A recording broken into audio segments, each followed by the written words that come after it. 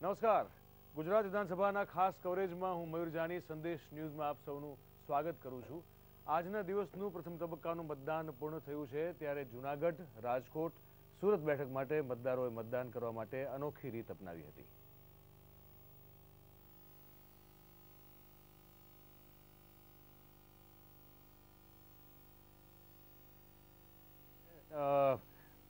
બીજા જે મહાનગરો છે આપણા અને ખાસ કરીને ગ્રામ્ય વિસ્તારો છે, એમાં જે રીતે આજે મતદાનને લઈ અને એક અદ્ભુત માહોલ જોવા મળ્યો, તો કહી શકાય કે લોકશાહીના મહાપર્વ સમાન મતદાનમાં આજે સંપૂર્ણપણે લોકોએ ઉત્સાહથી ભાગ લીધો. આ મતદાનમાં મતદારોએ પોતાને મળેલા મતાધિકારનો ઉપયોગ કર્યો અને દેશનું ભાવિ જ્યારે લોકસભાની ચૂંટણીમાં ઘડાવા જઈ રહ્યું છે, ત્યારે ગુજરાતની ચૂંટણીમાં સંપૂર્ણપણે લોકોએ ઉત્સાહપૂર્વક આજે મતદાન કર્યું અને એક રેકોર્ડ બ્રેક કર્યો. અને રેકોર્ડ બ્રેક એક મતદાનનો આજે આંકડો આપણને જોવા મળ્યો. આ અંગે આપણે આગળ ઘણી બધી ઘણી બધી ખબરો જોવા જઈ રહ્યા છીએ. મૂળ મુદ્દો જે છે એ એ છે કે કૃષ્ણકાંતભાઈ આપણે આ ચર્ચાને આગળ વધારશું. એના પહેલાં થોડીક એક આજના દિવસને લગતી જે ખબરો છે આપણે જોઈએ, ચેતનભાઈ. અને એ પછી આજની ચર્ચાને આપણે આગળ વધારશું.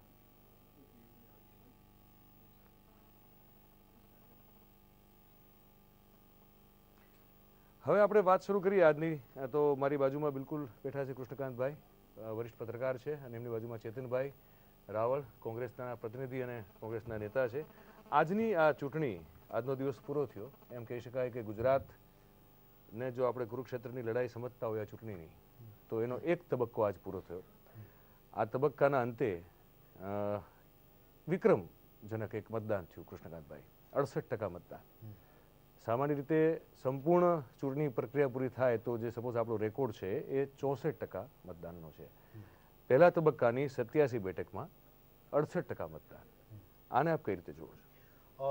બિલકુલ એક ખુશી થવા જેવી વાત છે કે આટલા મોટા પ્રમાણમાં વોટિંગ છે. સવારથી આપણે વોટિંગની પેટર્ન જોઈએ તો સવારથી જે મતદાનનું સ્પીડ હતી એ સવારથી માંડીને ધીરે ધીરે વધતી જતી હતી. બપોરે થોડુંક ધીમું થઈ ગયું ત્યારે એક તબક્કે એવું લાગતું હતું કે જે મતદાન છે એ પંચાવનથી સાઠ ટકા સુધી રહેશે એમ. પણ જ્યારે ફાઇનલ ફિગર આવ્યો સિક્સટી એઇટ પર્સન્ટ તો એ બહુ જ સારી વાત છે અને ગુજરાતી મતદારો આટલા મોટા પ્રમાણમાં બહાર આવીને વોટિંગ કર્યું છે. તો એ ખરેખર મતદારોમાં જાગૃતિ આવી છે? લોકશાહી પ્રત્યે, પોતાના સ્ટેટના પ્રશ્નો પ્રત્યે જાગૃતિ આવી છે? એનું આ સ્પષ્ટ ઉદાહરણ છે. ચેતનભાઈ, આપની પાસે આવી આ મુદ્દે હું. જંગી મતદાન, ભારે મતદાન. ખૂબ આવકાર્ય છે. મતદાન જેટલું વધારે થાય, એ હંમેશા આવકાર્ય છે.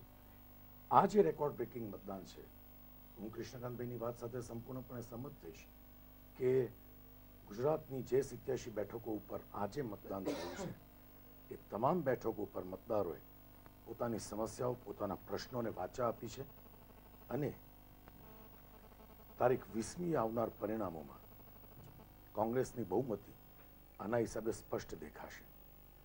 કોંગ્રેસની બહુમતી સ્પષ્ટ દેખાશે અને ભારતીય જનતા પાર્ટી સ્વાભાવિક રીતે એમ કહેશે કે આ મતદાન એમની તરફેણમાં છે. કારણ કે હજી જ્યાં સુધી વીસ તારીખની સાંજે સંપૂર્ણ પરિણામ જાહેર નહીં થાય, ત્યાં સુધી આ ફરીથી એકવાર ડિબેટનો મુદ્દો રહેવાનો છે. પણ જો ટ્રેન્ડને સમજવાનો પ્રયત્ન કરીએ, ભારતીય જનતા પાર્ટીના નેતાશ્રી પણ, પ્રતિનિધિ પણ અહીંયા ઉપસ્થિત થઈ ગયા છે. આપનું પણ સ્વાગત છે.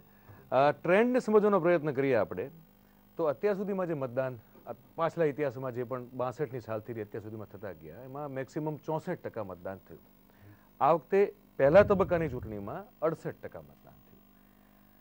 આને એન્ટી ઇન્કમ્બન્સી કહેવું કે સરકારની તરફેણમાં કહેવું, એના વિશે પણ જાત જાતના વિવાદો અને ડિબેટ થઈ શકે એમ છે. પણ એક રાજનીતિક વિશ્લેષક તરીકે, કૃષ્ણકાંતભાઈ, આપ આને કઈ રીતે જુઓ છો?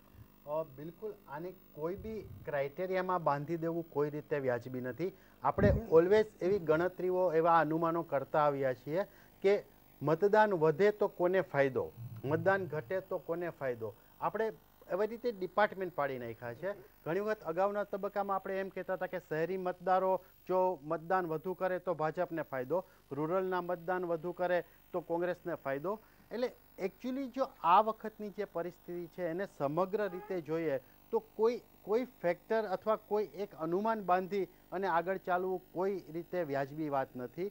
કારણ કે ઓવરઓલ જે દેખાય છે એ મતદારોની જાગૃતિ છે. અને મતદારોની જાગૃતિ એ ઓલવેઝ ગુજરાતીમાં આપણે ભર્યું નારિયેળ એવો શબ્દ પહેલાં અગાઉના સમયમાં બહુ વપરાતો હતો. એટલે કોઈ એવા અનુમાન ઉપર આવી જવું કે આનાથી આને ફાયદો થશે અથવા આને ગેરફાયદો થશે એવી ગણતરી બાંધવી એ બાંધવી ન જોઈએ અને બાંધવી હોય તો બી બાંધવી અઘરી છે. સૌથી મહત્વની વાત એ છે કે તાપી, હવે તાપી જિલ્લો જે આદિવાસીઓનો અને પછાત જિલ્લો ગણાય છે, એ વિસ્તારમાં સિક્સટી એટ સિક્સટી ફાઇવ ઉપર મતદાન જાય એ ખરેખર વખાણવા જેવી વાત છે. એટલે આના ફાયદા, ગેરફાયદા કરતાં ઓવરઓલ મતદારોની જે જાગૃતિ છે એને ધ્યાનમાં લેવી જોઈએ અને એનાથી ચોક્કસપણે એક અવેરનેસ આવવાની અવેરનેસ આવી છે અને એનું જે અસર છે એ તો તમને વીસમી સુધી ખબર જ વીસમી પહેલા ચોક્કસ એટલે એમાં એમાં કોઈ ડાઉટ નથી કે આજે એક લોકશાહીનું પર્વ કહેવાય તો એ ગુજરાતની જનતાએ પર્વને મન ભરીને આજે ઉજવું એમ કીધું ચાલે. એમાં કોઈ ડાઉટ નથી. અને સંદેશે પણ એક એક કેમ્પેન જાગૃત એક માધ્યમ તરીકે એક મારો ગંભીરતાથી મારો વોટ એક કેમ્પેન કર્યું અને આપણે એવી આશા રાખીએ છીએ કે એ કેમ્પેનની પણ લોકો સુધી એ કોઈ ને કોઈ અસર ચોક્કસપણે પહોંચી હશે. ખૂબ ગંભીરતાપૂર્વક આપણે એ કેમ્પેન ચલાવેલું હતું. પણ આપણે જે કીધું એ બરોબર છે પણ એની સાથે સાથે થોડીક વસ્તુઓ જે એક પોલિટિકલ એનાલિસ્ટ તરીકે આપણે વિચારવી પડે તો એ એ પણ છે ચેતનભાઈ. તમારી પાસે વાત કરીએ કે જુઓ જે સીટો નવા સીમાંકન પછી લોકસભાની ચૂંટણી થઈ હવે આ વિધાનસભાની પહેલી ચૂંટણી છે. નવા સીમાંકન પછીની જે આ વિધાનસભાની ચૂંટણી છે એમાં ઘણી બધી જે પરંપરાગત બેઠકો એક અથવા બીજા પક્ષની હતી. ત્યાં જે પ્રકારનું વોટિંગ જોવા મળ્યું છે આ વખતે જેમ કે સપોઝ સાઉથ ગુજરાતની આપણે આદિવાસીના પટ્ટાની વાત કરીએ. તો ત્યાં વોટિંગમાં આ પ્રકારનું એટલે જબ્બર પ્રકારનું વોટિંગ તમને જોવા મળે. એવું ક્યારે જોવા નથી મળ્યું. હવે એ સ્વિંગ થયેલી, સ્વિંગ થતી આખી વાત છે. પહેલાં આ બાજુ હોય, પછી પછી ચૂંટણીમાં આ બાજુ ગયું હોય. સામાન્ય રીતે કોંગ્રેસનો એક મત વિસ્તાર ગણાય છે. સૌરાષ્ટ્રની વાત કરીએ, સૌરાષ્ટ્રમાં તમે જુઓ તો પટેલ વોટ જે છે એ કોન્સન્ટ્રેટેડ ફોર્મમાં પડ્યા છે એવા સમાચાર આવે છે. બીજી બાજુ જે કોળી સમાજના વોટ છે એ કોન્સન્ટ્રેટેડ ફોર્મમાં પડ્યા છે. મુસ્લિમ વોટ્સ, ક્ષત્રિય વોટ્સ અને દલિત વોટ. આ વોટોનું જે કોન્સન્ટ્રેશન છે, એ જિલ્લામાં જ્યારે આપણે ગ્રામીણ લેવલની વાત કરીએ, તો શહેર કરતાં એ બહુ વધારે છે. સામાન્ય રીતે એવું માનવામાં આવે છે કે જ્યારે સરકાર હોય અને એની સામે, એટલે અને- ચૂંટણીમાં જો બહુ વધારે વોટિંગ થાય, તો એ એન્ટી ગવર્મેન્ટ માનવામાં આવતું હોય છે. આ વાત સાથે, આ લોજિક સાથે આપ જવા માંગો છો? આ વાત સાથે હું સો ટકા સંમત છું મયુરભાઈ હું કોઈ સમાજની વાત નથી કરતો. હું સમગ્ર ગુજરાતની પ્રજા, સમગ્ર ગુજરાતના મતદારો, ખાસ કરીને મહિલાઓ, યુવકોની વાત હું કરીશ, આદિવાસી ભાઈઓની હું વાત કરીશ, દલિત ભાઈઓની હું વાત કરીશ, એટલા માટે કે મહિલાઓ આ રાજ્યમાં ખૂબ અસુરક્ષિત રહી છે. મહિલાઓને પોતાના જે સપના હતા, એ ક્યારેય એમને પૂરા થતા દેખાયા જ નહોતા. શિક્ષિત યુવકો જે છે, બેરોજગારીનો આંકડો આજે ગુજરાતમાં માજા મૂકી છે. વિધાનસભામાં ઓફિશિયલ જે રેકોર્ડ મૂકવામાં આવેલો છે એ લગભગ દસ લાખ શિક્ષિત યુવાઓ બેરોજગાર છે. આ એ લોકોનો અવાજ છે. સૌરાષ્ટ્રમાં જે પાણીની સમસ્યા સિંચાઈના પાણીની સમસ્યા આ એનો અવાજ હોઈ શકે. હું ચોક્કસ એવું માનું છું કે આ મતદાન એ એન્ટી ઇન્કમ્બન્સીનું જ ફેક્ટર હશે. સાહેબ આ- આપનું સાહેબ શું કેવું છે? આ તમને એમ લાગે છે કે આ તમારી તરફેણમાં છે? સૌથી પહેલા તો ગુજરાતમાં જે આ લોકતંત્રનું પર્વ અત્યારે ઉજવાઈ રહ્યું છે ચૂંટણીનું, એમાં જે પ્રમાણે ગુજરાતમાં ભારે માત્રામાં મતદાન થયું છે, લગભગ અડસઠ ટકા મતદાન થયું છે, આ પહેલો લોકતંત્રનો વિજય છે.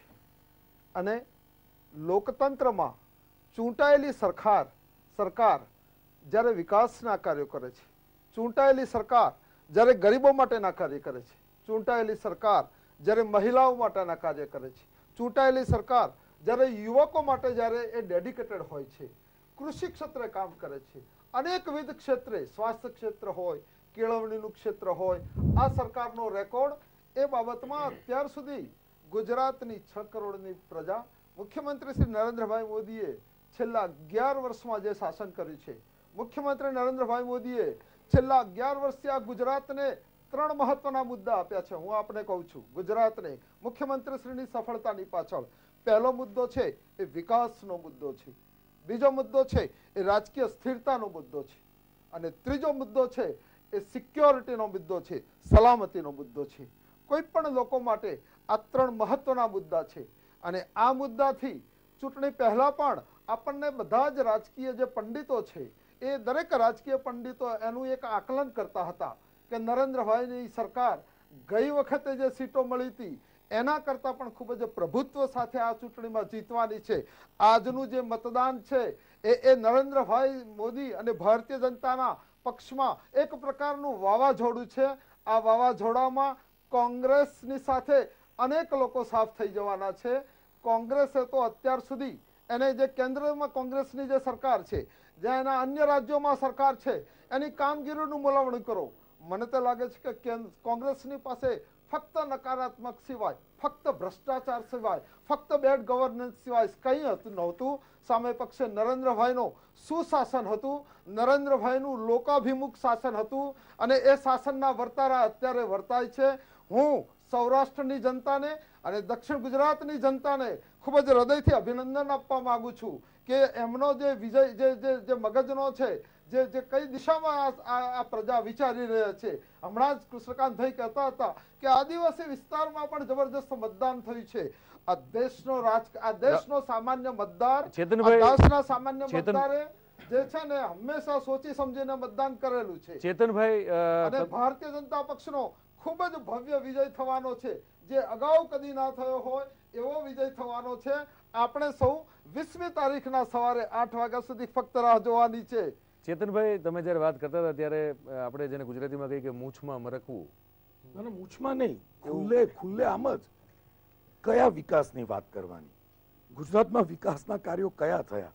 કઈ સ્ત્રીઓની સુરક્ષાની આપણે ગુજરાતમાં વાત કરવાની?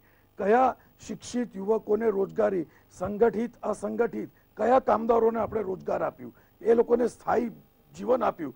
કયા રિક્ષાવાળાઓ કયા ફેરિયાવાળાઓ કયા પાથરણાવાળાઓને આપણે એમની કોઈ પણ એક જગ્યા આપી ઊભા રહેવાની? કયા સૌરાષ્ટ્રમાં આપણે પાણી આપ્યું? આટલા વર્ષોમાં જે નરેન્દ્રભાઈની આપણે લોકો ભાજપના મિત્રો આટલી બધી ભાટાઈ કરે છે, માફ કરજો મારી ભાષાને, પણ આટલી બધી જે લોકો ભાટાઈ કરે છે, એ લોકોને મારે પૂછવું છે કે પાણી આપ્યું? નથી આપ્યું. એમણે એમના મેનિફેસ્ટોમાં કહ્યું છે, જેને સંકલ્પ પત્ર કેવું કંઈક નામ આપે છે. મેનિફેસ્ટો મેનિફેસ્ટો છે. એ ચૂંટણી ઠંડેરો છે. જેમાં એમણે પોતે કીધું છે કે સૌરાષ્ટ્રના અગિયાર ડેમોને અમે પાણીથી છલકાતા કરી દઈશું. એમાં એમણે પોતે કીધેલું છે કે સૌરાષ્ટ્રના છ હજાર સાતસો બોતેર કે થોડો ઘણો આંકડો આમ તેમ હશે એને અમે હજુ સુધી પાણી આપી જ નથી શક્યા. સૌરાષ્ટ્રનો પ્રશ્ન પતી વિકાસ વિકાસની વાત. સૌરાષ્ટ્રમાં કોઈ વિકાસ થયો છે? ક્યાં થયો છે? એક નેનોની ફેક્ટરી આવી એને વિકાસ કહીએ છીએ? એવરેજ એક ગુજરાતી. એવરેજ એવરેજ એક ગુજરાતી. મયુરભાઈ એવરેજ એક ગુજરાતીના માથે અત્યારે ચોવીસ હજાર રૂપિયાનું દેવું છે. બસો પાંચસો રૂપિયાનો આંકડો આમ હશે. નેનો લાવ્યા. અભિનંદન. કોઈ પણ સારી ઇન્ડસ્ટ્રી આવી જોઈએ. જનરલ મોટર્સ કોંગ્રેસના રાજમાં આવી હતી. રિલાયન્સ જે ઊભું થયું જામનગરમાં એટલે- એ કોંગ્રેસના રાજમાં એશિયાની સૌથી મોટી એશિયાની સૌથી મોટી ઇન્ડસ્ટ્રીયલ એસ્ટેટ જીઆઈડીસી એ અંકલેશ્વરમાં કોંગ્રેસે આપેલી. કયો વિકાસ થયો? નહીં, એ એ આપની વાત બિલકુલ સાચી છે. આ બધા મુદ્દા પર તો આપણે ચૂંટણી પહેલાં પણ ડિબેટ કરેલી છે. અત્યારે આજે જે આપણે મિત્રો જે વાત કરવા માંગીએ છીએ એનો એક જે ઓવરઓલ ટોપિક એ છે કે આજનું જે વોટિંગ છે વોટની વોટિંગ જે પેટર્ન છે અને એ આપણે સપોઝ જો એને પ્રદેશ અને એના પોકેટ વાઇઝ સમજવાનો પ્રયત્ન કરીએ. તો એના ઉપર જે તમારા લોકો જે બધા મિત્રોનું વિશ્લેષણ છે, એ કઈ રીતનું છે એ મારે સમજવું છે અને કદાચ જે લોકો મિત્રો આપણે જોઈ રહ્યા છે, એમને પણ એ વસ્તુમાં રસ પડશે કે સપોઝ સૌરાષ્ટ્ર છે, તો સૌરાષ્ટ્રમાં આપણે પાંચ પાર્ટ પાડીએ છીએ. એક ઝાલાવાડ છે, એક ગોયલવાડ છે, એક હાલાર છે, એક સોરઠ છે અને કાઠિયાવાડ છે. બરોબર છે? હવે આમાં સપોઝ સુરેન્દ્રનગર જિલ્લાની વાત કરીએ છીએ ઝાલાવાડ છે. સુરેન્દ્રનગર જિલ્લામાં જે રીતે વોટિંગ દેખાય છે, તો આપણે જોઈએ તો વઢવાણમાં પંચાવન પોઈન્ટ બાસઠ ટકા હતું, એ બે હજાર સાતનું હતું. બરોબર છે? આ વખતે એનાથી વધારે. તમે કોઈ પણ વિસ્તાર જોશો તો દરેક જગ્યાએ પછી એ ચોટીલા હોય કે લીંબડી હોય કે આની પેલી મૂળીની જે મર થઈ ગયેલી સીટ છે હળવદવાળી એવો દરેક જગ્યાએ મતદાન જે છે એ ઝાલાવાડમાં વધારે છે. ઝાલાવાડ હંમેશા પાણીથી ની તંગીથી પીડાયેલો પ્રદેશ કૃષ્ણકાંતભાઈ. હવે સપોઝ એક આપણે એક આ પોકેટનો અભ્યાસ કરીએ. આ જે મતદાન છે એમાં શહેર કરતા અગેન ગામડામાં મતદાન છે વધારે પડતું છે. જ્ઞાતિવાદના સમીકરણો આપણે જોયા છે ત્યાં કે કઈ રીતે ચૂંટણીમાં ઉમેદવારોને ઊભા રાખવામાં આવેલા છે. આપને શું લાગે છે કે સપોઝ સૌથી પહેલા ઝાલાવાડ લઈએ તો આ જે વોટિંગ પેટર્ન જે આ વખતની છે એ શું ઇન્ડિકેટ કરે છે? ઝાલાવાડનું ગયા વખતનું ચિત્ર જોઈએ તો ઓલમોસ્ટ બે પક્ષનું ફિફ્ટી ફિફ્ટી હતું. અને ઝાલાવાડની આપણે આના અગાઉ જ અહીંયા ચર્ચા કરી હતી ત્યારે કીધું કે ઝાલાવાડના પ્રશ્નો ઘણા બધા છે. હું ત્યાં આપણે સુરેન્દ્રનગરની કે એ આજુબાજુના વિસ્તારની વાત કરીએ તો ત્યાં ચાર દિવસ સુધી પાણી નથી મળતું. એવું ત્યાંના લોકોએ આપણા મોઢે જ કબૂલ્યું છે એમ. એટલે અહીંયા ખાસ કરીને ઝાલાવાડ પૂરતો એક વિસ્તાર કદાચ એવું છે કે થોડું તમને એન્ટી ઇન્કમ્બન્સી જેવું લાગે કે ભાઈ લોકોની નારાજગી ક્યાંક બહાર આવી હોય.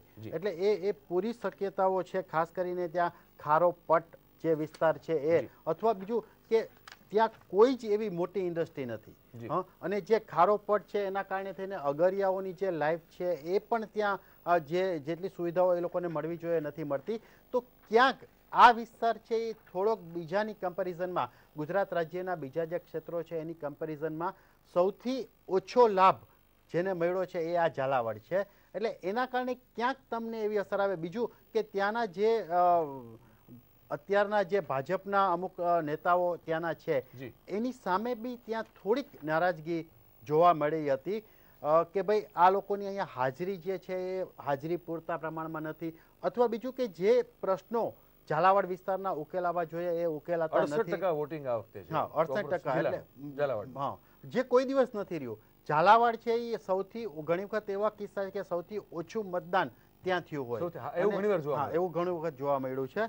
એટલે ક્યાંક આમાં પડઘો પડતો હોય. બીજું એક એક ફેક્ટર જે અહીંયા નથી લાગુ પડતું પણ એક ત્રીજું ફેક્ટર છે જે જીપીપી નું ફેક્ટર છે.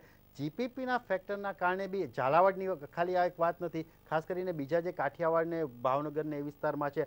તો એક ત્રીજું ફેક્ટર જે કામ કરતું હતું, એ ક્યાંક મતદારોને મતદાન મથક સુધી ખેંચી લાવવા માટે અસરકારક પરિબળ બન્યું હોય એવી પૂરી શક્યતાઓ છે. કારણ કે તમે જુઓ, સીધી વસ્તુ છે કે દરેક પક્ષ હોય કોઈ બી પક્ષ હોય ભાજપ હોય કોંગ્રેસ હોય ગુજરાત પરિવર્તન પાર્ટી હોય એ લોકોનું સવારથી ઉઠીને એક જ કામ હોય છે કે ભાઈ કેવી રીતે મતદારોને એના ઘરમાંથી બહાર લાવી અને મતદાન મથક સુધી પહોંચાડવા. આ પ્રયત્ન દરેક વખતે મતદાનમાં હોય છે. પણ આ વખતે આ વખતે- ત્રણ હતા. દર વખતે બે જ જણા હતા જે લઈ જતા હતા. આ વખતે ત્રણ હતા. બીજું કે દરેક અમુક પક્ષોએ ત્યાં એક અપક્ષો અને બીજા પક્ષો મારફતે મત તોડવા માટે બી એક ગણિત જે અમુક જગ્યાએ ઉમેરાણું હતું એ એ લોકોએ બી એવો પ્રયત્ન કર્યો છે કે ભાઈ તમે જો આટલા લોકોને મતદાન મથક સુધી પહોંચાડો તો એનો ફાયદો આ પક્ષને થાય. એવી ગણતરી જે પહેલેથી ચાલતી હતી એ મુજબ પણ ઘણા બધા મતદારોને ત્યાં સુધી લાવવામાં આવ્યા હોય એવી શક્યતાઓ છે. ચેતનભાઈ સપોઝ એના પછી આપણે રાજકોટ એટલે કે કાઠિયાવાડની વાત કરીએ આપણે રાજકોટમાં અડસઠ પોઈન્ટ આઠ ટકા. અડસઠ પોઈન્ટ આઠ ટકા. અને આપણી સાથે કોઈ આપણી સાથે ઇન્દ્રનીલભાઈ રાજગુરુ રાજકોટથી જોડાયેલા છે, લાઈવ છે આપણી સાથે. ઇન્દ્રનીલભાઈ, આપનું ખૂબ ખૂબ સ્વાગત છે સંદેશ ન્યૂઝમાં. અને રાજકોટમાં આજે અમારી પાસે ફિગર છે અડસઠ પોઈન્ટ આઠ ટકા વોટિંગ ઓવરઓલ થયું છે. આપને એ પૂછવાનું મન થાય છે કે આ સ્થિતિમાં અડસઠ પોઈન્ટ આઠ ટકા વોટિંગ જે રાજકોટે પણ ક્યારેય જોયું નથી. શું કેવું છે આપનું? આ વોટિંગને આપ કઈ રીતે જુઓ છો?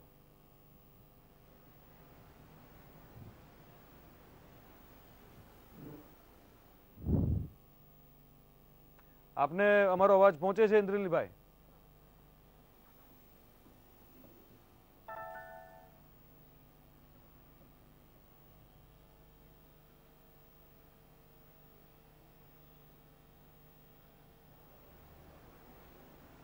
ઇન્દ્રનીલભાઈ, આપને આપને મારે પૂછવું એ છે કે અડસઠ પોઈન્ટ આઠ ટકાનું વોટિંગ રાજકોટમાં, આ વોટિંગને આપ કઈ રીતે જુઓ છો?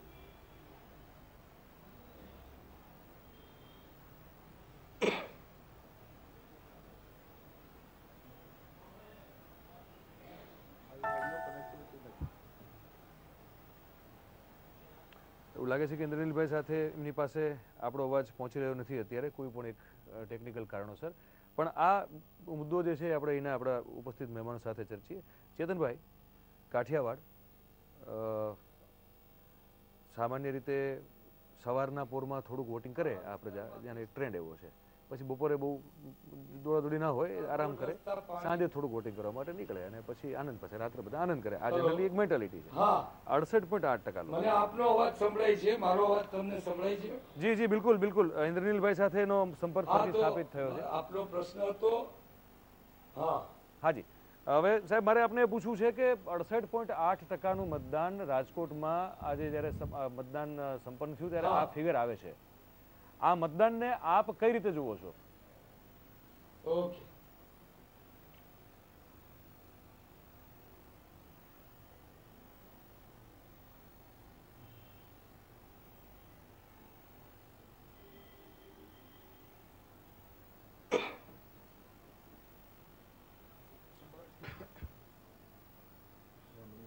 રાજકોટમાં હજી ત્રીસ ટકા વિસ્તાર એવો છે જ્યાં રોડ રસ્તા પાણી ઘટતો નથી. આ વિકાસની ફક્ત ખાલી વાતો થાય છે. નરેન્દ્ર મોદીજી દસ વર્ષ પહેલા ચૂંટણી લડ્યા ત્યારે રાજકોટને પાણી પાણી કરી દેવાની વાત કરીને ગયા હતા. અહીંયા વજુભાઈ વાળા હોવા છતાં રાજકોટનો કોઈ મહત્વનો વિકાસ થયો નથી. ત્યારે રાજકોટની જનતા પાણીને ટળવળે છે અને વિકાસ માટે ટળવળે છે અને આ ભાજપ સામે પ્રચંડ રોષ રૂપે લોકો આવી બહાર આવી અને મતદાન કર્યું છે. અને આમાં સો ટકા રાજકોટની બધી સીટો ઉપર અમે અપેક્ષિત છીએ. આપનું કેવું એવું છે કે રાજકોટની બધી સીટો પર આપની જીત જે છે એની આપ અપેક્ષા રાખી રહ્યા છો? અને આપનું કેવું છે કે કોઈ પણ જાતનો વિકાસ થયો નથી? વજુભાઈ વાળા સતત જેમણે નાણામંત્રી તરીકે ગુજરાતના રહેવાનો એક વિક્રમ કાયમ કર્યો, એ રાજકોટને રિપ્રેઝેન્ટ કરે છે ઘણા બધા વર્ષોથી. અને એ વિસ્તારના લોકોનું વારે ઘડી એવું કહેવાનું હોય છે. આ એક એક સામાન્ય ફરિયાદ સતત જોવા મળતી હોય છે કૃષ્ણકાંતભાઈ. પણ આપણા જે ભાજપના મિત્ર છે એમની પાસે જઈએ. હવે કોંગ્રેસનું આ એક સ્ટેન્ડ છે વિપક્ષ છે સ્ટેન્ડ લે છે બરોબર છે. અડસઠ પોઈન્ટ આઠ ટકા વોટિંગની અપેક્ષા આપને રાજકોટમાંથી હતી? અમારે તો આ વોટિંગની સંપૂર્ણ પહેલી અપેક્ષા હતી. અને આપનો જવાબ આપો એ પહેલા હમણાં ચેતનભાઈએ જે હમણાં જે એમનો ઇન્ટરવ્યુ આપ્યો એને હું જવાબ એમના એને સાહેબ હાલ રહેવા દઈએ તો કારણ કે મુદ્દા ઉપરથી ભટકી જઈશું આપણે. રઘવાયા થયા છે. આપણે સત્તા વિહીન આટલા વર્ષોથી છે એટલે એમને સત્તા માટે તલપાપડ થયા છે. એટલે એ બોલે સ્વાભાવિક છે. રાજકોટની હું વાત કરું. તમામ વાતોનો હું જવાબ અહીંયા બહુ જ અચૂક અને ઠોસ મજબૂત રીતે મજબૂત રીતે હું આપી શકું એમ છું. પણ જેમ મયુરભાઈએ કહ્યું મયુરભાઈએ કહ્યું. અમે આપણા સાંસદ છે ને વારંવાર અહીંયા તમે ફેરવો છો કેમેરો. અહીંયા કેમેરો તમે આ બીજી વાર આવ્યો છે. વાતનો ચોક્કસ જવાબ આપી શકું છું પણ હું નથી આપવા માંગતો કેમ કે નહીં નહીં આપને બિલકુલ સાહેબ આપને યોગ્ય અમે સ્પેસ આપવી જ પડે એનો કોઈ સવાલ નથી. બેટિંગ કરો. પણ એમને? સોલંકી સાહેબ સોલંકી આપ જણાવો. જણાવો. જે રાજકોટની જે થયું છે ને આ અપેક્ષિત મતદાન છે. ગુજરાતની પ્રજા પાસેથી આ જ પ્રકારના જબરજસ્ત ભાવિ અને ભારે મતદાનની અમોને અપેક્ષા હતી જ અને એ અપેક્ષા અમારી સાર્થિક થઈ છે. ગુજરાતની પ્રજા ગુજરાતની પ્રજા એ સાણી પ્રજા છે અને આ દેશનો સામાન્ય નાગરિક, ચાહે ગુજરાતનો હોય ગમે તે હોય, એ નાગરિક જ્યારે કોઈ, જ્યારે જ્યારે જ્યારે જ્યારે ખોટા રૂલર આવે છે, જેમ કે ઇન્દિરા ગાંધીએ કટોકટી નાખી હતી ત્યારે ઇન્દિરા ગાંધીને ધડ મૂળમાંથી આ સામાન્ય માણસે ઇન્દિરા ગાંધીએ ચૂંટણી આપી હતી. ઇન્દિરા ગાંધીને પરાસ્ત કર્યા હતા અને જે લોકો સારું કામ કરે છે, એના માટે ખોબલે ખોબલે આ મતદાન આશીર્વાદ સાથે મતદાર આશીર્વાદ સાથે મત આપતો હોય છે. ગુજરાતની અંદર અત્યારે જે મતની પેટર્ન છે, એ છે ને એ એ યુનિફોર્મ પેટર્ન છે.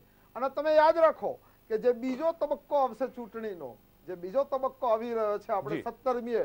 સત્તરમીના ચૂંટણીમાં પણ આ જ પ્રકારનું મતદાન રહેશે. કદાચ આના કરતા પણ અત્યારે લોકો ઉત્સાહિત થઈને વધારે રહેશે. આમાં મીડિયાના મિત્રોને પણ હું ખરેખર દાદ આપું છું.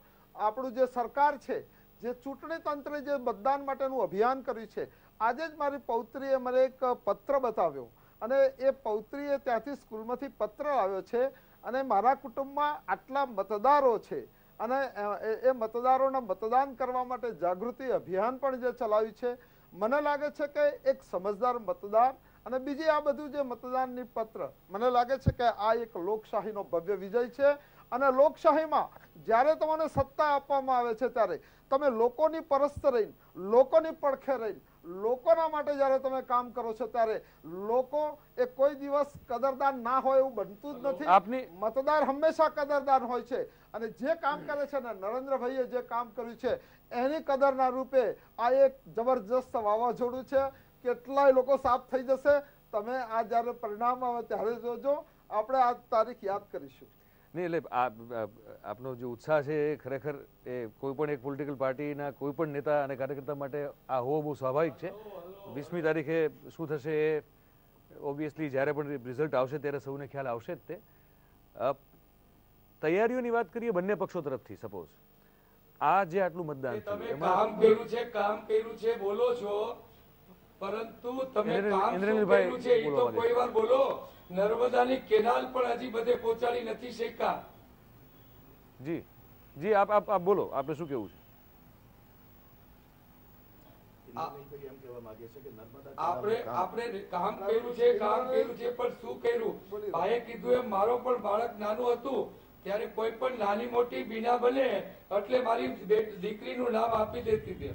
એમ આજે નરેન્દ્ર મોદી સારું થાય તો કે હું, નરસું થાય તો કે કોંગ્રેસ, એના સિવાય નરેન્દ્રજી આગળ કોઈ કામ નથી, કેનાલો પણ પહોંચાડી શક્યા નથી, લઘુ ઉદ્યોગો અને જીએડીસીઓ પણ સ્થાપન બંધ કરી દીધું છે અને કોઈ પણ વિકાસના કામ, નાના માણસોને મકાન દેવાનું કામ હોય, પાણી દેવાનું કામ હોય, કોઈ પણ કામમાં આ નરેન્દ્ર મોદીજીની સરકારે કાંઈ કર્યું નથી, ત્યારે આ લોકરોષ છે અને આ લોકરોષ આ ભાજપની સરકાર ઉપર ભારે પડી જવાનો છે. ઇન્દ્રનીલભાઈને હું જવાબ આપવા માંગુ છું કે જવાબ આપજો. જે જે લોકોએ જે લોકોએ કોંગ્રેસે જે એના શાસનમાં આંકડા વાવ્યા છે ત્યારે કેરીની કે આંબાની અપેક્ષા ના રાખે. અહીં તો નરેન્દ્રભાઈએ ફક્ત આંબા વાવ્યા છે કેસર કેરી વાવી છે અહીંયા વલસાડી આફૂસ વાવી છે. ગુજરાતના પ્રજા માટે જે કર્યું છે ને એનું પ્રમાણપત્ર જેને પીળ્યો હોય એની પાસેથી લેવાનો મને લાગે છે કોઈ અર્થ જ હતો દેખાય છે એમના આબા દેખાય છે કેશુભાઈ જેવા દિગ્ગજ નેતા. એમના આબા દેખાય છે કેશુભાઈ જેવા કેશુભાઈ જેવા જે પાયાના પાયાના નેતા દિગ્ગજ નેતા એમણે પક્ષ છોડીને જતા રહેવું પડ્યું. આનાથી વધારે તમારા ભાજપની અને તમારા નરેન્દ્રભાઈની શું કમનસીબી હોય? એવો એક નેતા બતાવો તમે મને કિરીટભાઈ કે જેને નરેન્દ્ર મોદીએ સ્વીકાર્યા હોય. આપણે ઠીક છે કે ભક્ત મંડળની જેમ ભક્તિએ? અમને શીખવે છે ઇન્દ્રનીલ- નરેન્દ્રભાઈએ ઇન્દ્રનીલભાઈ બતાવ્યું. શું કહેવા માંગે ત્યાંથી? રાજકોટથી કશું કહેવા જઈ રહ્યા છે? હાજી બોલો ઇન્દ્રનીલભાઈ આપ આપ જણાવો આપનો મત શું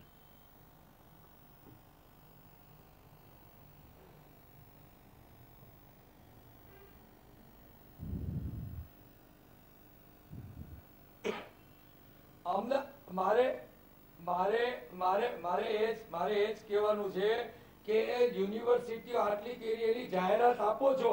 એક રૂમમાં ચાર ભાગ કરીને ચાન્સલર નો એવી યુનિવર્સિટી કરીને જાહેરાત આપો વિકાસ છે. તમે આંબા વાવ્યા છે એમ કહો છો, પણ ક્યાં આંબા વાવ્યા છે? એનો કોક દિવસ હિસાબ દો ત્યારે તમારે કોંગ્રેસ તરફની જ વાત કરવી પડે છે.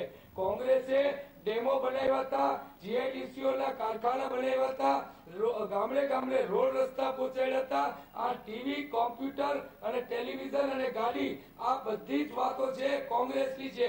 નર્મદા પણ કોંગ્રેસની છે. તમે લોકો નર્મદાની કેનાલ પણ નથી કરી શક્યા. શું કામ કર્યું એનો તમારે હિસાબ દેવાનો છે. અમારે હિસાબ નથી દેવાનો. તમારે હિસાબ દેવાનો આવે ત્યારે કેન્દ્ર સરકાર ઉપર આંગળી ચીંધો છો તો આપને કહેવા માંગુ છું કે અમારી ન્યાયની પાઘડી સલામત છે. બે હજાર ચૌદમાં ફરી આવશે. તમારો હિસાબ અત્યારે તમારે દેવાનો છે. તમે પીળું બોલવાનું ના બોલવાનું બોલે બહુ પાકા છો. પણ ગુજરાતની જનતા જાણી ગઈ છે કે તમે વાતોના સોદાગર છો. હું બોલી શકું એમને જવાબ આપી શકું હા, બિલકુલ. આપ- નો રઘવાટ જાણી શકાય છે. કારણ કે એમનો પરાજય નિશ્ચિત છે. એટલે એમનો રઘવાટ જાણી શકાય છે. એ કહે છે કે તમે ક્યાં આંબા વાયા બતાવો.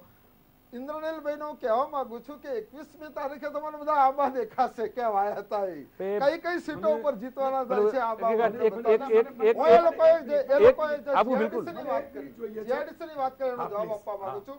કોંગ્રેસે દક્ષિણ ગુજરાતની અંદર જીઆઈડીસીઓ સ્થાપી છે.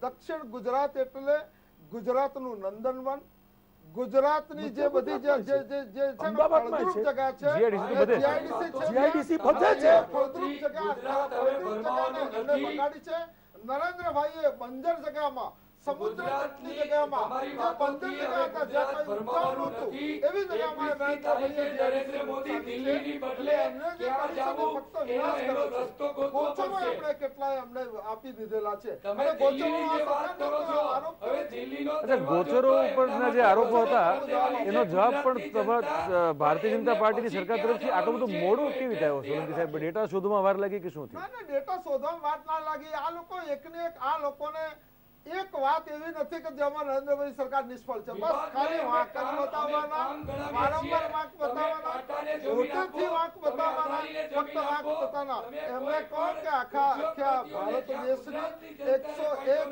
એકસો એકવીસ કરોડ કરોડની જનતા નરેન્દ્રભાઈ માટે મીટ માંડીને બેસી રહી છે. એ લોકો ઈચ્છે છે કે ગુજરાતમાં જે રીતે વિકાસ થયો છે ગુજરાતે જે વિકાસની નવી નવી ઊંચાઈઓ સર કરી છે એ પ્રકારે ભારતના બીજા રાજ્યોમાં પણ વિકાસ થાય એના માટે આમ આદમીને બેઠો છે. પણ- પણ- પણ- તો અમારી પાછળ પચાસ લાખ મકાનની જાહેરાત તમે કેવી ઇન્દ્રનીલભાઈ કરી? નો જુસ્સો એમનો અત્યારે જે છે ચરમસીમા ઉપર છે. સોલંકી સાહેબ પણ બિલકુલ એટલે આપણે આ એટલે જ આ કાર્યક્રમને આપણે કુરુક્ષેત્ર એવું કહીએ છીએ કે ગુજરાતનું કુરુક્ષેત્ર છે. પણ હા, એટલે ગુજરાતમાં લડાયેલું ચૂંટણીનું કુરુક્ષેત્ર છે.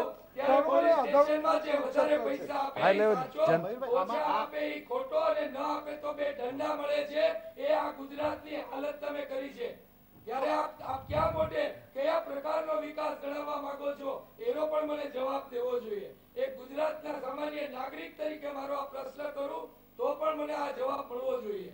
બરોબર મયુરભાઈ જી, જી, જી, એક વસ્તુ કૃષ્ણકાંતભાઈ. આખા ઇલેક્શન માટે એક વસ્તુ સમજવા જેવી છે. બહુ જ સ્વાભાવિક છે કે ભાજપના જે ભાઈ છે કિરીટભાઈ એ ભાજપની તરફની વાત કરે અને એ એ સ્વાભાવિક છે સ્વાભાવિક છે. સ્વાભાવિક અને એ એ આપણે સાંભળવી બી જોઈએ જે વ્યાજબી લાગે એ સ્વીકારવી બી જોઈએ. પણ હકીકતે જો આ વખતના ઇલેક્શનને થોડીક જુદી રીતે જોઈએ તો સૌથી મોટી વાત એ છે કે આ વખતે કોઈ એવી લહેર નથી. કોઈ એવી આપણે છાતી ઠોકીને કહી ન શકીએ કે ભાઈ આ આ કારણ એવું છે કે ભાઈ આ એના કારણે થઈને આ પક્ષ તરફ ઢળશે. એટલે કોઈ એવી સ્પષ્ટ લહેર નથી. એટલે જ આ વખતની આખું ઇલેક્શન છે એ ઇન્ટરેસ્ટિંગ છે કે કોઈ આમ તમે હંડ્રેડ પર્સન્ટ છાતી ઠોકીને ન કહી શકો કે ભાઈ ખરેખર આ વખતે કઈ બાજુ છે? અંડર કરંટ છે એ કઈ તરફ છે આ-. જે ચૂંટણી છે ને એ તમને કહું ને તો સપોઝ અને એનાલાઇઝ કરવાનો પ્રયત્ન કરીએ તો મારી સમજ એક એવી બેસે છે કે આ ચૂંટણી જે છે એ સરકારે કરેલા કામોની યાદી અને સરકાર દ્વારા કરવામાં આવતા એના વિશેના જે પણ એમના કાં તો એને દાવા કહો અથવા તો એમને સિદ્ધિની જે વાત કરી છે એ અને એની સામે વિપક્ષ તો બરોબર છે. પણ જે ગુજરાતની જનતા જે છે એ જો આ દાવા સાથે સહમત હશે તો આ સરકાર ફરીથી આવશે. બિલકુલ. એટલે સૌથી જો સહમત નહીં હોય તો આ સરકાર ફરીથી ના આવે. એટલે સૌથી આ જે છે જનતા અને સરકારને સરકારની સિદ્ધિઓની ને એને જનતા કઈ રીતે જોઈ રહી છે? એના ઉપરની આખી વાત મને લાગી વાત છે મયુરભાઈ કે આખો જે આખું ઇલેક્શન છે એ વિકાસના મુદ્દે લડાય છે. એ એક સૌથી મોટી વાત છે. હા જીપીપી ફેક્ટર છે એ થોડાક પટેલ અને જ્ઞાતિવાદનું થોડુંક એક અસર એની રહેવાની છે. બાકી ઓવરઓલ જે આખું ઇલેક્શન છે એ એક જ મુદ્દા વિકાસના મુદ્દે લડવામાં આવે છે. ભાજપ વાળાનો એવો દાવો છે કે ભાઈ આ આખો ગુજરાતમાં વિકાસ થયો છે અને એની સામે જે કોંગ્રેસનું છે, ત્યારે મને પ્રશ્ન થાય છે. જી. સિદ્ધિઓની વાત થાય છે ત્યારે પ્રશ્ન થાય છે કે સદભાવનાના તંબુ બંધાય ત્યારે ચોક્કસપણે એવું લાગે કે ગુજરાતનો ત્યાં વિકાસ થઈ ગયો છે. પણ ઘરે જઈએ ને ત્યાં વિકાસ પાછો ખોવાઈ જાય છે. એટલે આ આ વિકાસ છે એ લોકોના પરસેવાના પૈસે કરવામાં આવે છે. વેટ ડગલે ને પગલે પેટ્રોલ લે, સિમેન્ટ લે, લોખંડ લે કે ઘરનું ફર્નિચર લે. ગુજરાતની પ્રજા જે વેટ ભરે, એમાં વિવેકાનંદજીની નામે યાત્રા નીકળે અને ભાજપનો પ્રચાર થાય. ગુજરાતના લોકોના પરસેવાના પૈસે આટલો મોટો આડંબર થાય અને સદભાવનાના ખોટા નાટક દસ વર્ષે કરવા પડે. સદભાવના છે એ તો વ્યક્ત કરવાની ચીજ જ નથી. દસ ભાવ દસ વર્ષે લોકો અનુભવતા હોત તો નરેન્દ્ર મોદી સદભાવના માટે ન બેઠા હોત. અને- આ બધી જ વાત જે છે એ લોકો લોકોને ભેગા કરવા માટે- જાણી અને મતદાન જે કરવામાં આવ્યું છે એ લોકોએ બિલકુલ આ શાસન વિરોધી અને કોંગ્રેસના જે વિકાસના મુદ્દાઓ છે ઘરનું ઘર હોય દરેક મહાનગર પાલિકાઓમાં ચોવીસ કલાકનું પાણી હોય સ્વનિર્ભર કોલેજોમાં પચીસ ટકા સીટ ઉપર ફી ભરી અને ગરીબના બાળકને શિક્ષણ હોય આવી અનેક જે અમારે બાર મુદ્દાનો કાર્યક્રમ છે એને લોકોએ મતદાન કર્યું છે અને સો ટકા આ વખતે કોંગ્રેસને જબરજસ્ત સફળતા મળશે એમાં કોઈ શંકાને સ્થાન નથી. સોલંકી સાહેબ. આ ઇન્દ્રનીલભાઈ ચેતનભાઈ જે વાત કરે છે અમને ક્યાંય વિકાસ દેખાતો નથી. કારણ કે એમને તો શું છે કે પેલા ધૃતરાષ્ટ્રના ચશ્મા જેવું થયું છે. વિકાસને એમનો પૂછો મારી માતાઓને, પૂછો મારી મહિલાઓ બહેનોને, પૂછો મારા યુવાનોને પૂછો મારા દલિતોને કે વિકાસ ક્યાં થયો છે વિકાસ એ લોકો કરવાના છે થાનગઢમાં તમારા દલિતો ઉપર જે થયું એ વાત એ વખતે તમે કેમ ના બોલ્યા? શેના માટે બોલવાનું બંધ કરીએ? કોંગ્રેસના શેના માટે બોલવાનું શાસનમાં? બોલાણા. તમારા રાજ્યમાં થયું છે. ક્યાં છે. તમારા હિમાચલ, તમારા લગી હરિયાણાની અંદર, ઉપર અંદર થયા. ત્યારે ત્યાં લોકોનો બળાત્કાર થતો ખોટી વાત ના કરો. ખોટી વાત ના કરો તમે આવી રીતે તમારા તમે ભાષણો કરવાના હો, હરિયાણામાં ભાષણો કરો દલિતો પર અત્યાચાર થતો અને બળાત્કાર થતો તમે દલિતો વાત કરો તમે કઈ શું વાત કરો છો? દલિતોને હમી વાત કરો. બાબા સાહેબ આંબેડકરને વધારે ને વધારે અપમાનિત કરવાનું કાર્ય કર્યું હોય તો કોંગ્રેસે કર્યું છે સરદાર વલ્લભભાઈ પટેલને વધારે ને વધારે અપમાનિત કર્યું હોય તો કોંગ્રેસે કૃત્ય કરે તમે આ કોંગ્રેસને એના માટે શરમ આવી જોઈએ. અને વિચારની વાત કરે છે લોકો. તમે પાછળના ત્રણ ચાર મહિનાના ચૂંટણીના પરિણામો જો ઉત્તર પ્રદેશમાં એમનો સફાયો થઈ ગયો. બિહારમાં એમનો સફાયો થઈ ગયો. અરે દિલ્હીની મ્યુનિસિપલ કોર્પોરેશન એક મળે એટલા માટે એકમાંથી ત્રણ ભાગ કર્યા. હવે તમારો વારો છે. જગ્યાએ ભાગી હવે તમારો વારો છે. તમે જોવો તો ખરા તમારે દેશની પ્રજા નથી. આ ગુજરાતની પ્રજા છે. હવે આ તમારો વારો છે. આ ગુજરાત હવે તમારો વારો છે. તમારે જે બેસાડે છે ને બહાર, તમારો વારો છે. કરતા બોલે. તમે આ ખોટો બોલી અને ગુજરાતની ગુજરાતની પ્રજાને જે જોવું જ ના હોય એ ખોટાનો કદી એક દસકો હોય એ એક ખોટાઓનો દસકો આજે પૂરો થવામાં છે. જ્યારે વાત કરતો હોય દુનિયાના બીજા દેશો જ્યારે વિકાસની વાત કરતા હોય હું એ કહું છું કે આ ગુજરાતની. પ્રજા છે હવે તમને બસ કહેવાનો સમય જાળી ગઈ છે. કિરીટભાઈ એક વસ્તુ મને તમે કહેશો ગઈકાલે રાહુલ ગાંધી અહીંયા હતા ત્યારે એમણે એક વાત કરી કે ભાઈ ગુજરાતમાં ખરેખર શું એક જ માણસ બધું કરે છે અને બીજું કે જે વાત થાય છે એમાં આખું માર્કેટિંગ એમ કે અત્યારે માર્કેટિંગનો જમાનો છે એટલે માર્કેટિંગ જ થતું હોય એવું તમને લાગે છે. ઇન્દ્રનીલભાઈ ઇન્દ્રનીલભાઈ ઇન્દ્રનીલભાઈ એના વિકાસની બદલે કોંગ્રેસ માર્કેટિંગ માર્કેટિંગ એ વ્યક્તિ કરે જેની પાસે માલ હોય?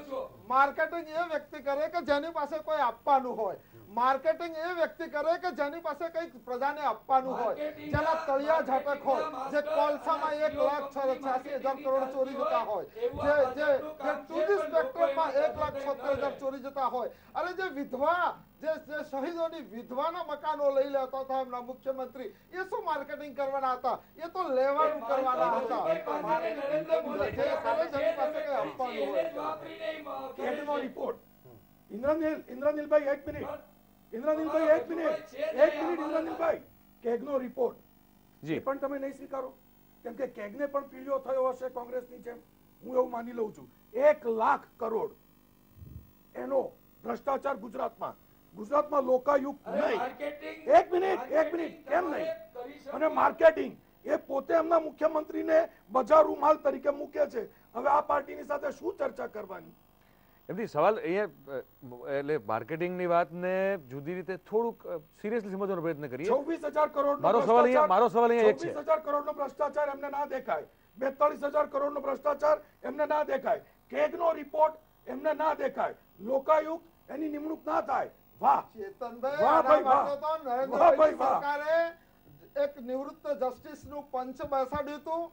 પંચનો રિપોર્ટ જરા જોઈ જાઓ. કરો આ ચર્ચા, સોલંકી સાહેબ, સોલંકી સાહેબ, મારે- મારે એક- ના કરો એક વસ્તુ કહું છું કિરીટભાઈ, ભ્રષ્ટાચાર છે ને આપ- એ નરેન્દ્રભાઈ પર આગળ ઉઠાવવાનું કરો. આપ આ ચર્ચા ના પાંચ કરો. આંગળીઓ તમારી સામે રહે છે. નહીં થાય તમારી થશે સોલંકી સાહેબ સોલંકી સાહેબ સોલંકી સાહેબ આપણે બે મુદ્દા પર વાત કરીએ અત્યારે એક હવે જે જનતાએ કઈ વસ્તુને જોઈ અને મત આપ્યો હશે હવે અત્યારે આપણે એ ટોપિક ઉપર એકચુઅલી વાત કરી રહ્યા છીએ અને એમાં આપણી દલીલો થઈ રહી છે બે મુદ્દાનો મારે તમને એક રિક્વેસ્ટ કરું છું કે જ્યારે આ બે ત્રણ મિત્રો છે ત્યારે મને તમે થોડો વધારે સમય આપો આપ બિલકુલ બોલી જ રહ્યા છો સાહેબ. આપણે ક્યાંય રોકી શકતા લો નથી. છો. આપ બિલકુલ સાહેબ સૌથી વધારે સાંભળો. સૌથી વધારે સમય જ આપ લો છો. જેમ જેમ જેમ મોદી સાહેબનો વણથંભ્યો વિકાસ ચાલી રહ્યો છે એમ આપ બિલકુલ વણથંભા છો અમે આપણે રોકી શકતા જ નથી. રાધર અમે રોકી શકીએ એમ છીએ પણ નહીં.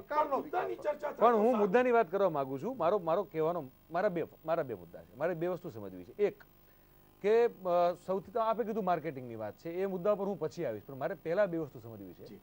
ભ્રષ્ટાચારની વાત થઈ રહી છે. કોંગ્રેસ જો ભ્રષ્ટાચારની વાત ગુજરાત સરકારના વિશે કરે છે તો યુપીએ સરકારમાં થયેલા ગોટાળાઓની વાત કરવામાં આવે છે. મારે એ સમજવું છે કે કોઈ પણ પાર્ટી પોતાના નેતાઓ દ્વારા અથવા તો પોતાના મંત્રીઓ દ્વારા થયેલા ભ્રષ્ટાચારને ક્યારેય ખેલદીલીપૂર્વક સ્વીકારવા માગતી કેમ નથી? જનતા પાસે વોટ લેવા જાઓ છો?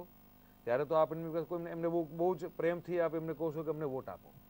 એ વિશ્વાસ જે વોટ દ્વારા મળે છે, એ વિશ્વાસને જ્યારે એના સામે પ્રશ્નો ઊભો થાય આવી સંસ્થાઓ જેનું કામ છે ખામીઓ અને ઉણપો શોધવાનું, એ જ્યારે પ્રશ્નો ઊભા કરે, પછી એ સરકાર ભારતીય જનતા પાર્ટીની હોય કે સરકાર કોંગ્રેસની હોય, એનડીએ હોય કે યુપીએ હોય, તો એ જે સવાલ ઊભા થાય તો એ સંસ્થાની ક્રેડિબિલિટી સામે સવાલ ઊભો કરી દેવામાં આવે. કોઈ વિપક્ષ જો છે તો પછી તમે હો કે કોંગ્રેસ હોય? કોઈ પણ વિપક્ષ છે જ્યારે બીજી સત્તાધારી પક્ષ ઉપર કોઈ આક્ષેપ કરે આવા જ કોઈ રિપોર્ટને લઈને જે કોઈ એક વિશ્વસનીય સંસ્થા એ કરેલો. તો એને માનવાની જગ્યાએ એવું કહેવામાં આવ્યું કે તમારે તમારે પણ આવું તમારા દ્વારા પણ આવું કરવામાં આવ્યું છે. આ કેમ થઈ રહ્યું છે? આ થવું જોઈએ? થયું છે તો સ્વીકારવું જોઈએ. હું સોરી આપને વાતને વચ્ચે રોકું છું પણ એવું નથી. આપ જુઓ યુપીએ સરકારના કારણ કે જનતા ઓવરઓલ તમને જવાબ સરકારના કૃષ્ણકાંતભાઈ અને આ તો આપણા સાંસદ છે સાંસદ તરીકે કદાચ મારા કરતા વધારે આ વાત આ વાતને સમજતા હશે. એટલે હું એમનો નિષ્પક્ષ અને ખરેખર સાચો અભિપ્રાય માંગીશ કે યુપીએ સરકારના જે જે સરકારો સામે આંગળી ચીધાઈ હતી સાબિત થયું કે ના થયું એ પછીની વાત છે. એની સામે પગલા તરત લેવાયા છે. એવો એક પણ દાખલો નથી કે નથી લેવાયા. પગલા લેવાયા છે બરોબર છે પણ એ એટ ધ એન્ડ ઓફ આનો આનો આનો કોઈ જવાબ નથી. હું બોલીશ આનો જવાબ આપું. જી જી બિલકુલ. આપ આપ જણાવો. જણાવો. સંવિધાનિક સંસ્થાઓ સીએજી અને જે કંઈ હોય બરાબર છે વિજિલન્સ કમિશનર ઓફ વિજિલન્સ એના વિરુદ્ધમાં યુપીએ સરકારના મંત્રીઓએ સંવિધાનિક સંસ્થાઓની ઉપર આંગળી ચીધેલી છે. હમણાં તો એક મંત્રી એવું બોલ્યા કે સંવિધાનિક સંસ્થાની અંદર સીએજીની ની અંદર સભ્યોની સંખ્યા વધારવી જોઈએ. સંવિધાન સંસ્થા એની સામે જે સંવિધાનિક જે કોન્સ્ટિટ્યુશનલ છે ઓથોરિટી છે એની સામે થયા.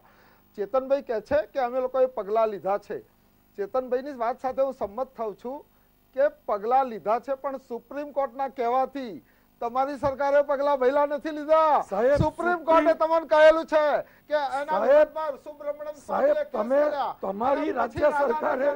તમારી રાજ્ય સરકારે હાઈકોર્ટ ને સુપ્રીમ કર્યું. બેમાંથી એકેને નથી સાંભળ્યા. આખું શીતકાલીન સત્ર અમારે ખોરવી દેવું પડ્યું હતું. અમારા લોકોની એક જ માંગ હતી. એક ખોરવી દેવાવાળી વાત પણ છે, એ જેપીસી ની માંગ હતી. જેપીસી ના નિમ્યું. અને બીજા જ બીજા જ સત્રમાં પહેલા દિવસે જેપીસી સ્વીકારી લીધું. આ કોંગ્રેસ સરકારની એક વચ્ચે વચ્ચે વચ્ચે મિત્રો મિત્રો મિત્રો આપને હું વચ્ચે રોકી રહ્યો છું કારણ કે આપણા જે દર્શક છે એ પણ કાર્યક્રમ જોઈ રહ્યા છે. અને એમાંથી એક જે દર્શક છે આપણા એ એક સવાલ પૂછવા માંગે છે. આપણે એમનું નામ જાણીએ. આપનું સાહેબ નામ જણાવો. મહેન્દ્રભાઈ મહેન્દ્રભાઈ આપ કોને સવાલ પૂછવા માંગો છો? સફેદ કપડા વાળા કિરણભાઈ શું નામ હે? સફેદ સફેદ કપડામાં ચેતનભાઈ છે બોલો. આ ચેતનભાઈનો પ્રશ્ન એ પડવાનો જી બોલો. હાજી પનારથી બોલો વિરંગામ તાલુકામાં. હાજી બોલો. હા એટલે સામે સફેદ કપડા વાળી બેઠા છે. જી. એ એમને પૂછું કે ગુજરાતની અંદર વિકાસ દેખાય કે નહીં દેખાતો એ વીસ તારીખે તમને ખ્યાલ આવી જશે. નહીં તમે પ્રશ્ન તમારો શું છે એકો એ આ તો તમારું મંતવ્ય છે સાહેબ. મહેન્દ્રભાઈ તમારો સવાલ શું છે? એમ એ એમ કે ગુજરાતની અંદર પ્રશ્ન ગુજરાતની અંદર વિકાસ નથી થયો. હા. કોંગ્રેસ સરકારે કોઈ ગુજરાતની અંદર વિકાસ નહીં થયો તો દિલ્હીની અંદર વિકાસ તો થયો હતો. વાડરા સાહેબ પણ જે છે બધું પરિક્રમા બધું બહાર કાઢો ને. સાહેબ આ- મહેન્દ્રભાઈ આપનો આ સવાલ નથી. આપ મંતવ્ય આપી રહ્યા છો. અમે આશા રાખીએ કે આપનો સવાલ હોય તો અમારા સુધી પહોંચાડો તો મિત્રો જવાબ આપશે. મંતવ્ય જે છે એ આપનું સંપૂર્ણપણે અમે એને સન્માન આપીએ છીએ. પણ આ મંતવ્ય માટેની વાત નથી. આપનો સવાલ કોઈ પણ દર્શક મિત્રનો સવાલ હોય તો સવાલ જરૂર પૂછી શકે છે. આપણે ચર્ચાને આગળ વધારીએ. મૂળ મુદ્દો એ છે કે આ જે બંધારણીય સંસ્થાઓ છે એ કોઈ પણ રિપોર્ટ આપે છે. તમે કીધું કે ભાઈ અમે પગલાં લઈએ છીએ. અમે અમારા મંત્રીઓ જેલમાં ગયા અથવા એમની સામે એક્શન લેવાના અને આ બધું થયું. એ બધું ચાલો, એની સાથે. હવે સોલંકી સાહેબનું કહેવાનું એવું છે કે ભાઈ તમારામાંથી જ પાછા યુપીએના ઘણા મિનિસ્ટર જે છે એ આ જ સંસ્થાઓ ઉપર આંગળી પણ ચીંધી રહ્યા છે. હવે અહીંયા મારો સવાલ સોલંકી સાહેબ એ નથી, હજી પણ. એ સવાલ તો પછી આવશે. મારું એવું કહેવાનું છે કે સપોઝ કે ગેમ કહે છે કે ભાઈ ભારતીય જનતા પાર્ટીની ગુજરાત સરકારે આ છવ્વીસ હજાર કરોડ રૂપિયા જે છે આનો હિસાબ સંબંધમાં આવતો નથી, અહીંયા કંઈક ને કંઈક ગોટાળાની શક્યતા દેખાય છે. સપોઝ ચારસો કરોડ રૂપિયાનો મત્સ્ય ઉદ્યોગ મંત્રાલયમાં કૌભાંડ જે આચર, આચરવામાં આવ્યું છે, એના વિશે હાઈકોર્ટ જે છે એ એક ત્યાં જે છે એ ગવર્નરના આદેશને માન આપે છે. આ વસ્તુ ગુજરાત સરકાર સ્વીકારતી કેમ નથી? ગુજરાત સરકાર તો હંમેશા સંવૈધાનિક સંસ્થાઓને હંમેશા હું આમના દ્વારા આપવા મોકોમાં આરોપની વાત નથી કરતો. સરકાર સંવિધાનિક કોંગ્રેસ એમ કે કે એક લાખ કરોડનો ભ્રષ્ટાચાર એની ચર્ચા નથી કરતો. સાહેબ આંબેડકરે જે સંવિધાન ઘડ્યું અને જે સંવિધાનિક સંસ્થાઓ એના થકી પેદા થઈ એ દરેક સંસ્થાને અમારો પક્ષ અમારા મુખ્યમંત્રી અને અમારા બધા જ મોવડીઓ અમે બધા જ એને હંમેશા આદર કરીએ છીએ. અમે કોઈ દિવસ ઝીરો લોસની થિયરી નથી મૂકતા. કપિલ સિબ્બલજીએ એક લાખ છોતેર હજારનો કર- કરોડનો ભ્રષ્ટાચાર થયો. અને પછી એમણે કહ્યું કે આ તો ઝીરો લોસ છે. આ લોકોએ ખોટો એક ઉપજાવી કાઢેલો આંકડો બનાવ્યો આપણે છે. ઝીરો લોસ ઝીરો લોસ એ ઉપજાવી કાઢેલો આંકડો બતાવ્યો છે. ઝીરો લોસ હોય તો આટલા મંત્રીઓ જેલમાં શું કરવા જાય? અને એ પણ કોર્ટના કહેવાથી.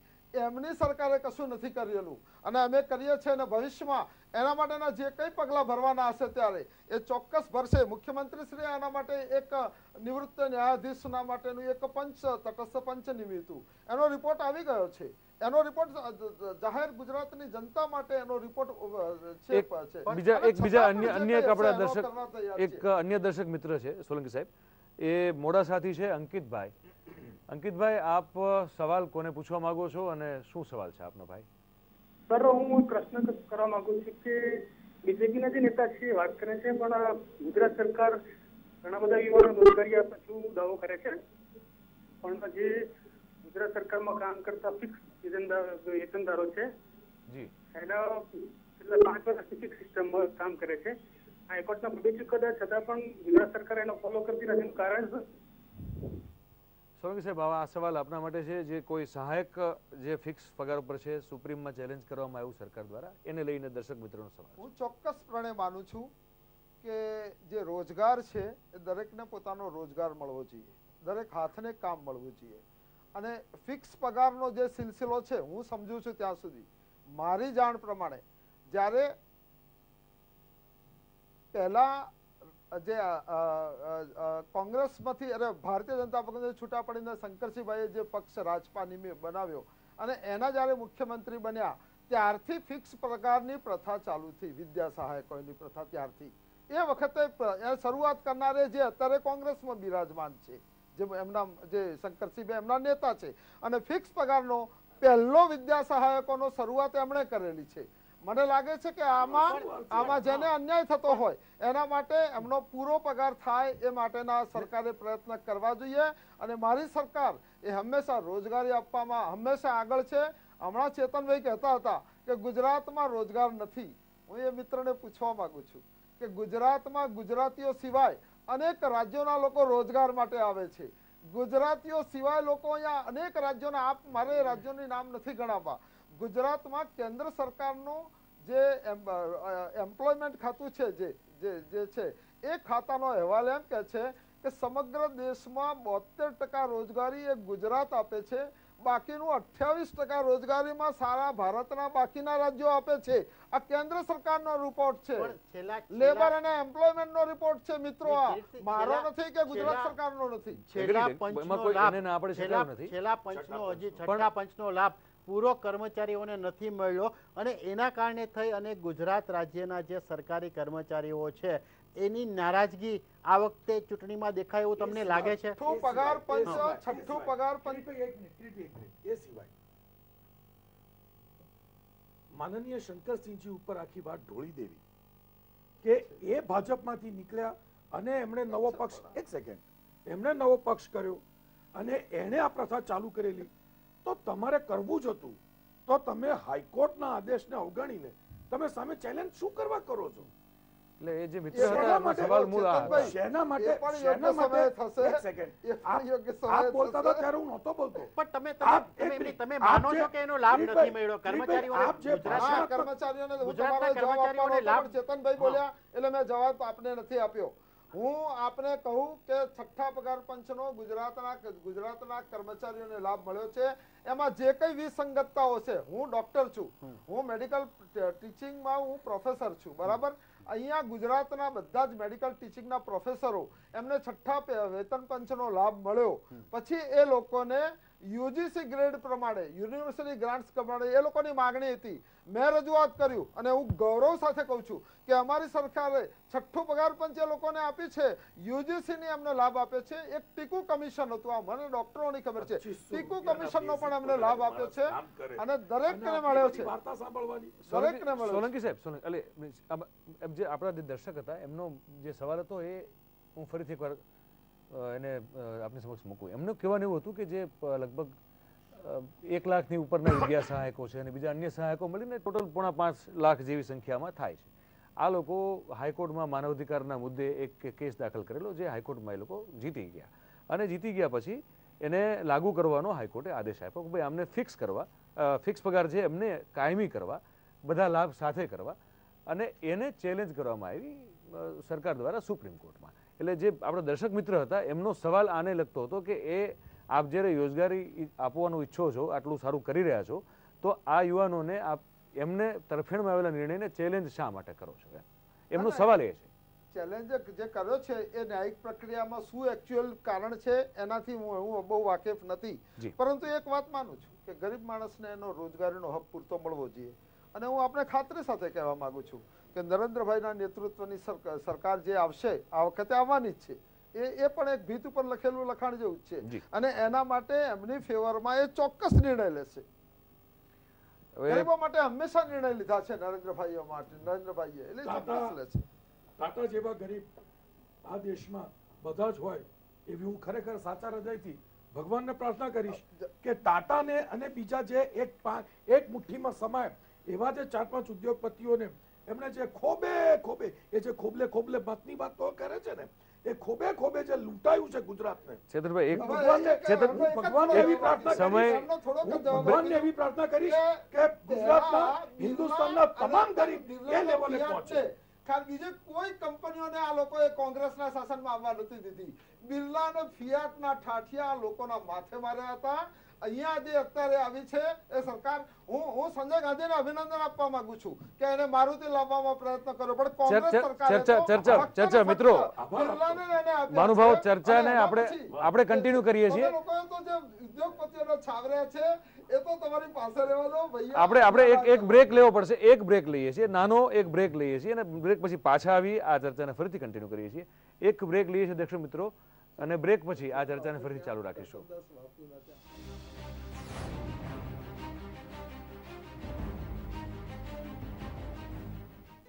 આપને મળી દરરોજ એક જ સ્વાદ.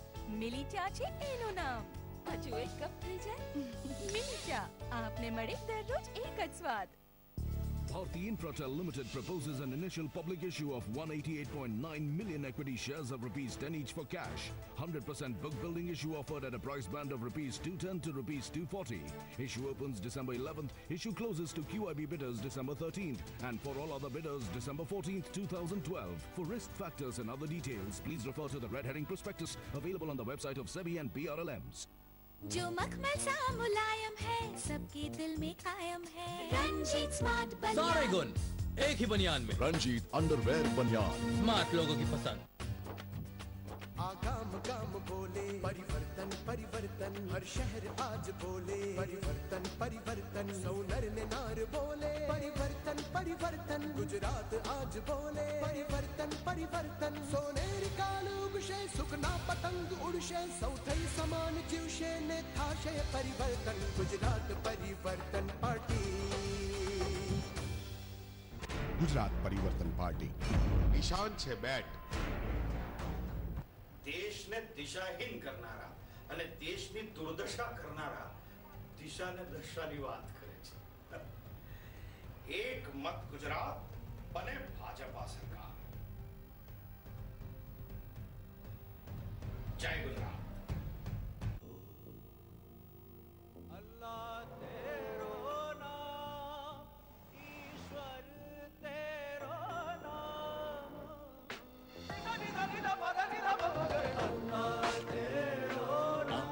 विश्वास का प्रतीक Veedol H D C turbo for turbocharge diesel engine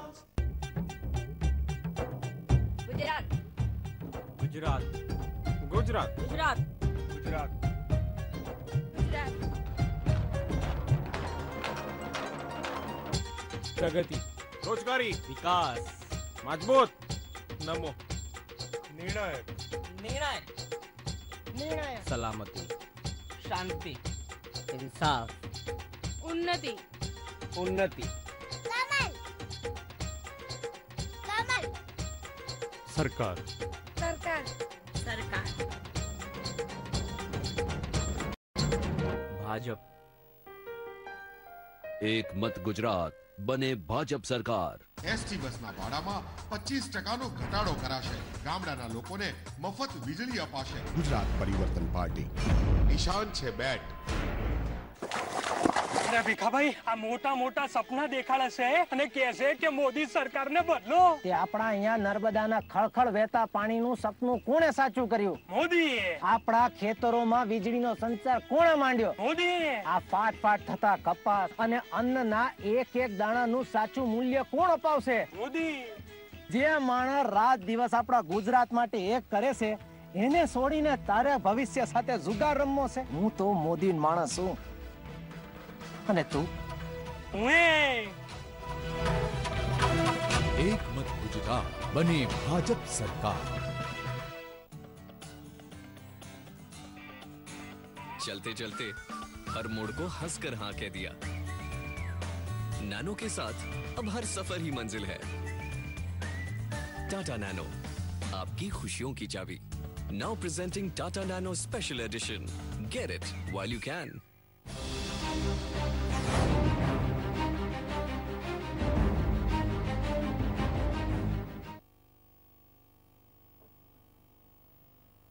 break બાદ આ સૌનું ફરીથી એકવાર ખૂબ ખૂબ સ્વાગત છે. બ્રેક પહેલા આપણે ચર્ચા કરી રહ્યા હતા કે આ વખતે જે પહેલા તબક્કાની ચૂંટણીનું જે આ મતદાન થયું, એ મતદાન આટલું જંગી થયું એની પાછળના કયા કયા પરિબળો કામ કરી શકતા હોય? અને એ મુદ્દે ભારતીય જનતા પાર્ટી અને કોંગ્રેસના મિત્રો અને સાથે કૃષ્ણકાંતભાઈ, અમારા વરિષ્ઠ રાજકીય એનાલિસિસ જે કરી રહ્યા છે. આપણે ચર્ચાને આગળ વધારીએ તો યુવાનોનો એક પ્રશ્ન હતો, એના ઉપર આપણે વાત કરતા હતા. હવે એ સિવાય આપણે જેમ કીધું કે આપણે પાંચ વિસ્તાર જોયા, દક્ષિણ ગુજરાત વિશે તો હજી આપણે બહુ જાજી ચર્ચા કરી શક્યા પણ નથી. સુરત અને એ દક્ષિણ ગુજરાતનો પટ્ટો, આદિવાસી વિસ્તાર, બહુ મોટા પાયે, જંગી. ધરમપુરમાં સવારના અગિયાર વાગ્યા સુધીમાં કૃષ્ણકાંતભાઈ ઓગણપચાસ ટકા વોટિંગ ખાલી અગિયાર વાગ્યા સુધીમાં હતું. એટલે આ આ જે ટ્રેન્ડ છે, એ ટ્રેન્ડમાં એક વસ્તુ બહુ સ્પષ્ટ થાય છે, એના બધાની સાથે બધા આપણે સહમત છીએ કે ભાઈ આ વખતે લોકોમાં ખૂબ જાગૃતિ હતી અને લોકોએ બિલકુલ મન ભરી અને એ જેને પણ મત આપવાનું નક્કી કર્યું હતું એને મત આપી દીધો છે. હવે એક સંભાવના ઉપર આપણે વિચાર કરીએ. આ રીતનું મતદાન શું આપને લાગે છે કે કોઈ ફ્રેક્ચર મેન્ડેટ તરફ લઈ જાય છે કે બહુ ક્લિયર કટ મેન્ડેટ તરફ લઈ જાય છે? ફ્રેક્ચર મેન્ડેટની વાત કરીએ તો આ વખતે ત્રીજું પરિબળ છે એટલે એવી શંકા જાય કે કંઈક ફ્રેક્ચર મેન્ડેટ આવશે એમ. પણ એક વસ્તુ નક્કી થયેલી હોય છે કે આપણે એવું કહીએ કે ભાઈ મતદાર મતદાર એવો એવો વ્યક્તિ છે કે જેણે અગાઉથી નક્કી કરી જ લીધું હોય છે કે આ વખતે મારે મત કોને આપવાનો છે. એવું કંઈ જ એવું નથી કે ભાઈ ચલો એ મતદાન મથક સુધી જશે ને ત્યાં સુધીમાં એ બદલી જશે. એટલે એ પ્રી ડિસાઇડેડ હોય છે કે કોઈને મારે મત આપવો છે. જેટલા બી જાય છે એટલા માટે એ લોકો નક્કી કરીને જાય છે કે મારે મત આપવો છે અને મારે આને જ મત આપવો છે અને એને જ મત આપતા હોય છે.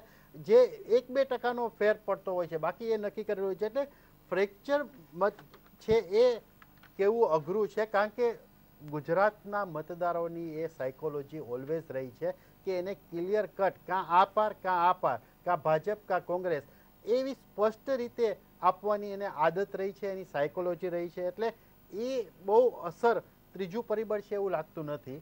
જે અત્યારનું જે છે હા સૌરાષ્ટ્રનો અમુક વિસ્તાર છે જુનાગઢ જિલ્લાનો અમુક વિસ્તાર છે અથવા ભાવનગર જિલ્લાનો અમુક વિસ્તાર છે ત્યાં જો થોડું જોવા મળે એવી શક્યતાઓ છે. ખાસ કરીને મહુવાના કનુભાઈ કલસરિયા આ વખતે આ એક ચોથું પરિબળ ત્યાં છે.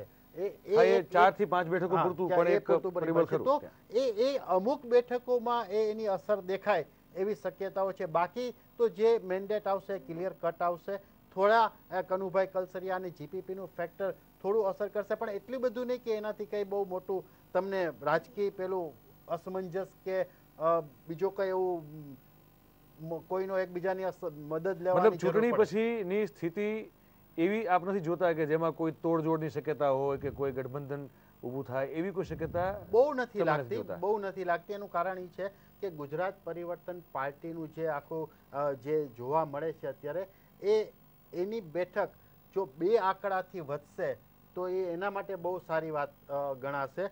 બીજું કે હા બીજું એક બે આ જે છે એક દાખલા તરીકે ભરૂચ પાસે છોટુભાઈ વસાવા છે જેડીયુ એક બે એકાદી બેઠક એ લઈ જશે. બાકી કનુભાઈ કલસરિયાની પોતાની એક પોપ્યુલારિટી છે એના કારણે થઈને એને એક બેનો ફાયદો થાય. એ સિવાય જેટલી જે પરિણામ આવશે એ બીજો સીધું આવવાનું. સવાલ કૃષ્ણકાંતભાઈ એ પણ છે ને કે જીતવી એના કરતા આ વખતે જે અમુક સપોઝ ગુજરાત વિરોધન પાર્ટી હોય કે જેડીયુ જે આ વખતે અહીંયા આદિવાસી પટ્ટામાં કોન્સન્ટ્રેટ કરીને ઉતર્યું છે કે કનુભાઈ કલસરિયા હોય. આ લોકોનો એજન્ડા જોઈએ તો આપ એમ એવો ખ્યાલ આવે છે કે આમને જીતવા કરતા એમને નુકસાન કોઈ થાય. સપોઝ એમને એજન્ડાને અનુરૂપ જે પણ એમણે નક્કી કરેલું છે એ પાર્ટીને નુકસાન પહોંચાડી શકે. એ પ્રયત્ન એમનો વધારે છે. તો આ જે પ્રયત્ન છે એ શું તમને લાગે છે કે સમહાવ કોઈ જગ્યાએ એમાં એ લોકો સફળ ગયા હોય? આ પ્રકારનું જે આજ મતદાન થયું છે એમાં. એક તો ગુજરાત પરિવર્તન પાર્ટ- પાર્ટીને જે છે એ સૌથી વધુ એનો સપોર્ટ છે એ પટેલ મતદારો છે. અને પટેલ મતદારો હંડ્રેડ પર્સન્ટ એન્ટી બીજેપી જાશે એવું માની લેવું એ વધુ પડતું છે. કારણ કે પટેલ લોકો બે પક્ષમાં છે. એવું નથી કે એક પક્ષમાં જ છે. એક પક્ષની નારાજગી છે. એટલે આ વખતની જે ચૂંટણી છે એમાં મોટા ભાગે કયો ફેક્ટર કોને હરાવશે? અમુક લોકો છે એ જીતવા માટે નહીં, પણ હારવા માટે અને એના જે વિરોધી છે એને હરાવવા માટે થઈને ચૂંટણી લડે છે. આ ચર્ચા ચાલુ રાખી છે તનભાઈ તમારી પાસે પણ આવીશ અને સોલંકી સાહેબ, આપની પાસે પણ હું આવીશ. એક બ્રેક લઈએ છીએ, એક બ્રેક છે, એક બ્રેક લેવાનો ટાઈમ થયો છે મિત્રો બ્રેક લઈને તરત પાછા આવીએ છીએ અને આ ચર્ચાને આપણે ચાલુ રાખીએ.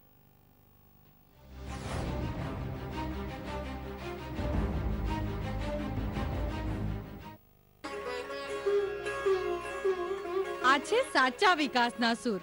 કોંગ્રેસ મને આપશે ઘરનું ઘર. તમામ મહાનગરપાલિકાઓ અને નગરપાલિકાઓમાં કોંગ્રેસ આપશે પ્રત્યેક ગૃહિણીને ઘરનું ઘર, જેની જમીનની કિંમત સંપૂર્ણપણે માફ. બાકીની કિંમત પરવડે તેવા પંદર વર્ષના હપ્તેથી. ગ્રામ્ય વિસ્તારની મહિલાઓના નામે સો વારના પ્લોટ અને રૂપિયા એક લાખની કિંમતના ત્રીસ ચોરસ મીટરના ઘર. હવે નહીં કોઈ કુટુંબ બાકી રહે ઘર વિનાનું ગુજરાતમાં. દિશા બદલી છે. દશા બદલાશે कांग्रेस जो मखमल सा मुलायम है सबके दिल में कायम है रंजीत स्मार्ट सारे बनियान गुण एक ही बनियान में रंजीत अंडरवेयर बनियान स्मार्ट लोगों की पसंद આ છે સાચા વિકાસના સૂર રાજ્યના ખેડૂતોને કોંગ્રેસ આપશે સોળ કલાક ગુણવત્તાયુક્ત વીજળી અને તે પણ મહત્તમ દિવસના સમયે ડાર્ક ઝોન નાબૂદ કરાશે. નવા દસ લાખ ખેડૂતોને વીજળી અપાશે. ટેકાના ભાવે ખરીદી કરવા રૂપિયા એક હજાર કરોડનું ફંડ ઊભું કરાશે. સાત બાર અને આઠ અના ઉતારા વિના મૂલ્યે ગામમાં જ મળશે. દિશા બદલી છે. હવે દશા પણ બદલાશે. Congress. Bharti Infratel Limited proposes an initial public issue of 188.9 million equity shares of rupees 10 each for cash. 100% book building issue offered at a price band of rupees 210 to rupees 240. Issue opens December 11th. Issue closes to QIB bidders December 13th. And for all other bidders, December 14th, 2012. For risk factors and other details, please refer to the red herring prospectus available on the website of SEBI and BRLMs. મત તો માત્ર બેટને મત તો માત્ર પરિવર્તનને बेट उठाओ परिवर्तन लाओ। गुजरात परिवर्तन पार्टी। ईशान छे बैट। अल्लाह तेरो ईश्वर तेरो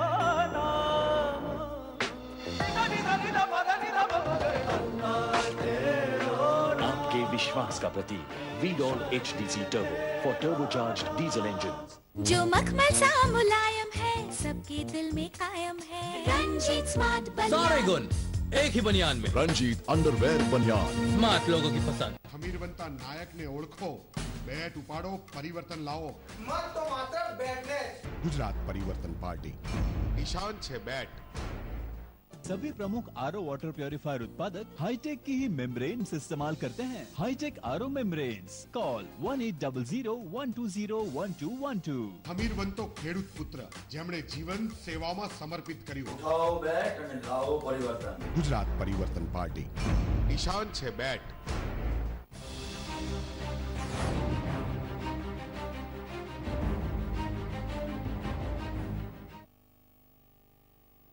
બ્રેક બાદ આપ સૌનું ફરી એકવાર ખૂબ ખૂબ સ્વાગત છે. ચર્ચા આપણી ચાલુ હતી કે આ પ્રકારનું મતદાન જે ખૂબ જંગી અને વિક્રમજનક છે, એ આ આખી ચૂંટણીના પરિણામને કઈ દિશામાં લઈ જઈ રહ્યું છે? અને કૃષ્ણકાંતભાઈ પાસે આપણે વાત, અને એમનો જે એક એનાલિસિસ હતું એ જાણ્યું આપણે. હવે આપણે જઈશું, સૌથી પહેલાં સોલંકી સાહેબ આપણી પાસે. અને આપને પૂછીશું કે આ મેન્ડેટ જે મતદાન છે, એ તમને શું લાગે છે કે કયા પ્રકારનું મેન્ડેટ આપશે? ગુજરાતની જનતા બહુ ઉત્સાહી છે. અને ગુજરાતની જનતા જે આ મેન્ડેટ આપ્યો છે ગુજરાતની જનતાએ જે ભારે તમને કે લાગે છે કે જીપીપી અથવા અન્ય કોઈ? હું ફ્રેક્ચર મેન્ડેટ સાથે સહેજ પણ સંમત થતો નથી. ઇટ્સ અ કેટેગરીકલ ડિસિસિવ મેન્ડેટ અથવા તમારી અથવા તમારી સામેનું હોય એમ એવું લાગે છે? અમારી તરફેણમાં. બિલકુલ તમારી તરફેણમાં. More than 2/3 majority in favour of Bharatiya Janata Party in favour uh, Narendrabhai Modi આ ડિસિસિવ વોટિંગ છે અને આ વોટિંગ પેટર્ન બીજા ક્રમમાં પણ જળવાશે. આપે હમણાં એક વસ્તુનો ઉલ્લેખ કર્યો, એનો મારે જરા એક વાત કહ્યું છે કે ટ્રાઇબલ વિસ્તારોમાં, આદિવાસી વિસ્તારોમાં પણ આ યુનિફોર્મ પેટર્ન રહી છે. વોટિંગ ભારે વોટિંગ એના માટેનું એક કારણ એ છે કે નરેન્દ્રભાઈ મોદીની સરકારે વનબંધુ વિકાસ યોજના માટે પંદર હજાર કરોડ રૂપિયા ફાળવ્યા હતા. જેનું એકચ્યુઅલ જે છે એનું સ્પેન્ડિંગ એ ચાલીસ હજાર કરોડ રૂપિયા થયું છે. આદિવાસીઓના જે વિકાસ છે, કોંગ્રેસના વખતમાં આદિવાસીઓને હાયર એજ્યુકેશન પાંચમા, છઠ્ઠા પછી શાળાઓ નથી. ત્યાં અગિયારમાં અને બારમાની શાળાઓ ખુલી છે. આદિવાસી મિત્રો ડોક્ટરીમાં જવા માંડે છે એન્જિનિયરિંગમાં જવા માંડે છે મેનેજમેન્ટમાં જવા માંડે છે આઈટીમાં જવા માંડે છે. અનેક નવી શિક્ષણની ક્ષિતિજો એમના માટે ખુલી છે. અને એટલા માટે જે સામાન્ય આદિવાસી પણ બહાર નીકળીને નરેન્દ્રભાઈને મજબૂત કરવા માટે અને રાજકીય સ્ટેબિલિટી માટે બહુ મહત્વનું ગુજરાત હંમેશા રાજકીય સ્ટેબિલિટી, ગુજરાતનો મતદાર રાજકીય સ્ટેબિલિટી હંમેશા જોવે છે. રાજકીય જ્યાં જ્યાં સુધી સ્ટેબિલિટી ના હોય ત્યાં સુધી વિકાસ શક્ય જ નથી. ત્યાં સુધી સિક્યોરિટી શક્ય જ નથી. એટલે રાજકીય સ્ટેબિલિટી એ નરેન્દ્રભાઈ મોદીમાં એમના દર્શન થયા છે. બાકી આ પ્રમાણેની સરકારો ચાલતી હોય, ત્યાં કોઈ દિવસ વિકાસ ના થાય. આ જે વિકાસ થયો છે એ રાજકીય સ્ટેબિલિટીના લીધે છે અને અહીંયા જે શાસક છે એની પાસે પોલિટિકલ વિલ પણ છે. ચેતનભાઈ સોલંકી સાહેબનું કહેવાનું છે કે આ એક ના તો કોઈ ફ્રેક્ચર મેન્ડેટની શક્યતા છે કે ના એમની તરફેણમાં એટલે કે તમારી ના એમની વિરુદ્ધમાં એટલે કે તમારી તરફેણમાં આ વોટિંગ નથી લાગતું એમને. એમનું કેવું છે કે સંપૂર્ણપણે આ વોટિંગ ભારતીય જનતા પાર્ટીની ફેવરમાં થયું છે. આવડું મોટું વિક્રમજનક અને જંગી વોટિંગ છે. આદરણીય સાંસદ શ્રી જવાબરૂપી જે ભાષણ આપ્યું એ મેં સાંભળ્યું. ખૂબ લાંબુ બોલી શકો છો. આપ આપને ધન્યવાદ છે સાહેબ. હું જ એક જ વસ્તુ કહેવા માગું છું કે ડૉક્ટર સાહેબને શું લાગે છે અગત્યનું નથી? હું બહુ દ્રઢપણે અને ચોક્કસપણે એવું માનું છું કે આ એક ગુંગળામણ છે અને આ ગુજરાતની પ્રજાની ગુંગળામણ, એ લોકોનો આક્રોશ બહાર આવી રહ્યો છે. એ મહિલાઓનો હોય, એ યુવાનોનો હોય, બેરોજગાર યુવાનોનો હોય, એ કર્મચારીઓનો હોય, એ આદિવાસીઓનો હોય એ તમામ લોકોનો હોઈ શકે પણ આ એક ચોક્કસ આક્રોશ છે. મતદાન સૌથી વધારે થાય એ ખૂબ આવશ્યક છે, ખૂબ જરૂરી છે. પણ આ જે પેટર્ન છે, આ પેટર્ન એ ચોક્કસપણે ભાજપ સરકારને ગુજરાતમાંથી વિદાય આપવાની પેટર્ન છે. એટલું હું વિશ્વાસપૂર્વક કહી શકું છું. હવે સમયનો આપણને અહીંયા અભાવ છે, મર્યાદા સ્વાભાવિક રીતે આપણે સ્વીકારવી પડે. એટલે આ ચર્ચા અહીંયા આજ પૂરી કરવી પડે એમ છે. આપણે ફરીથી એક વખત મળીએ. અને આજની જે ચર્ચાના અનુસંધાને શું પરિણામ આવે છે કદાચ એક વખત ફરીથી એના ઉપર ચર્ચા કરીએ એવી આશા સાથે હું આપ સૌનો ખૂબ ખૂબ આભાર માનું છું. આપ ચર્ચા માટે આવ્યા. ફરીથી મળીશું. ખૂબ ખૂબ આભાર. ધન્યવાદ. અને દર્શક મિત્રો આજે આ ચર્ચા જે છે મહાનુભાવ સાથેની અહીંયા આપણે સમાપ્ત કરીએ છીએ. સમાચાર આજના દિવસના મતદાનને લઈ અને જે આપણા વિશેષ કાર્યક્રમ ચાલી રહ્યા છે એ સતત ચાલુ છે. એક બ્રેક લેવાનો સમય થયો છે. બ્રેક લઈ અને તરત પાછા આવીએ છીએ અને એ ચર્ચાને ફરી ચાલુ રાખીએ છીએ નવા મહેમાનો સાથે.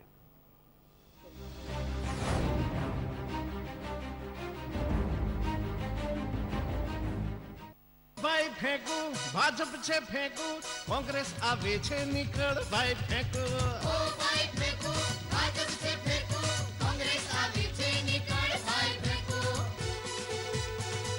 નર્મદા યોજના તથા જીઆઈડીસી આવી કોના રાજમાં? કોંગ્રેસના રાજમાં. એકસો આઠની સેવા તથા દૂધની શ્વેત ક્રાંતિ કોના રાજમાં થઈ? કોંગ્રેસમાં જ થઈને. ભાજપના રાજમાં ડોનેશન લેવાય ગૌચર વેચાય તથા બાળકો લાપતા થાય છે. હાયમાં. તોય ભાજપના ખોટા પ્રચારમાં મેં વિકાસ કર્યો તેવી ફેકમ ફેંક થાય છે. બોલો બોલું છે ભાઈ ભાઈ. બોલ ભાઈ ફેંકું ભાજપ છે ફેંકું કોંગ્રેસ આવે છે નીકળ ભાઈ ફેંકું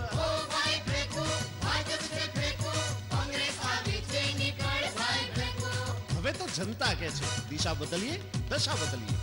કોંગ્રેસ. આપને મળી દરરોજ એક જ સ્વાદ મિલી ચા છે એનું નામ. હજુ એક કપ થઈ જાય.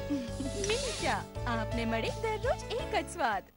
जो मखमल सा मुलायम है सबके दिल में कायम है। रंजीत स्मार्ट बनियान। सारे गुण एक ही बनियान में। रंजीत अंडरवेयर बनियान। स्मार्ट लोगों की पसंद। मत तो मात्र बैठने मत तो मात्र परिवर्तन ने बैट उठाओ परिवर्तन लाओ। गुजरात परिवर्तन पार्टी। निशान छे bat Bharti Infratel Limited proposes an initial public issue of 188.9 million equity shares of rupees 10 each for cash. 100% book building issue offered at a price band of rupees 210 to rupees 240. Issue opens December 11th. Issue closes to QIB bidders December 13th. And for all other bidders, December 14th, 2012. For risk factors and other details, please refer to the red herring prospectus available on the website of SEBI and BRLMs. ખમીરવંતા નાયકને ઓળખો બેટ ઉપાડો પરિવર્તન લાવો મત તો માત્ર બેટને ગુજરાત પરિવર્તન party નિશાન છે બેટ जो मखमल सा मुलायम है सबके दिल में कायम है रंजीत स्मार्ट सारे बनियान गुण एक ही बनियान में रंजीत अंडरवेयर बनियान स्मार्ट लोगों की पसंद ખમીરવંતો ખેડૂત પુત્ર જેમણે જીવન સેવામાં સમર્પિત કર્યું ઉઠાવો બેટ અને લાવો પરિવર્તન ગુજરાત પરિવર્તન પાર્ટી નિશાન છે બેટ बेटे गुजरातियों के साहस और कांग्रेस के साथ मिलकर गुजरात ने स्थापना से ही हर क्षेत्र में प्रगति की। चलो देखें उस सुनहरे दौर की एक झलक। सपनों से आगे बहती ये दूध की नदियाँ, ये हमारे गौरव से ऊँची नर्मदा, खेतों में सोने का लहराना, छोटे बड़े उद्योग में बढ़ते विश्वास की क्रांति, उज्जवल भावी के लिए ज्ञान की रोशनी। गुजरात स्थापना से ही कांग्रेस के साथ प्रगति की ओर चला पर भाजपा सरकार के पिछले दस सालों में सिर्फ बड़ी बड़ी बातों का दौर चला चलो फिर से शुरू करें जीत का वही सफर आओ दिशा भी बदले दशा भी बदले गुजरात कांग्रेस આપને મળી દરરોજ એક જ સ્વાદ મિલી ચા છે એનું નામ હજુ એક કપ થઈ જાય મિલી ચા આપને મળે દરરોજ એક જ સ્વાદ ઓ ભાઈ ફેંકું ભાજપ છે ફેંકું કોંગ્રેસ આવે છે નીકળ ભાઈ ફેંકું. ઓ ભાઈ ફેંકું ભાજપ છે ફેંકું કોંગ્રેસ આવે છે નીકળ ભાઈ ફેંકું. અરે નર્મદા યોજના તથા જીઆઈડીસી આવી કોના રાજમાં? કોંગ્રેસના રાજમાં. એકસો આઠની સેવા તથા દૂધની શ્વેત ક્રાંતિ કોના રાજમાં થઈ? કોંગ્રેસમાં જ થઈ ને ભાજપના રાજમાં ડોનેશન લેવાય ગૌચર વેચાય તથા બાળકો લાપતા થાય છે. હાયમાં. કોઈ ભાજપના ખોટા પ્રચારમાં મેં વિકાસ કર્યો તેવી ફેકમ ફેંક થાય છે. બોલો બોલું છે ભાઈ ભાઈ? બોલ ભાઈ ફેંકું ભાજપ છે ફેંકું કોંગ્રેસ આવે છે નીકળ ભાઈ ફેંકું.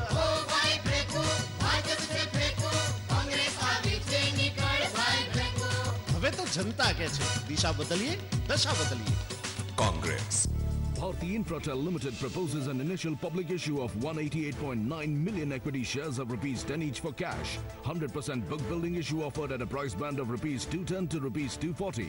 Issue opens December 11th. Issue closes to QIB bidders December 13th. And for all other bidders, December 14th, 2012. For risk factors and other details, please refer to the red herring prospectus available on the website of SEBI and BRLMs.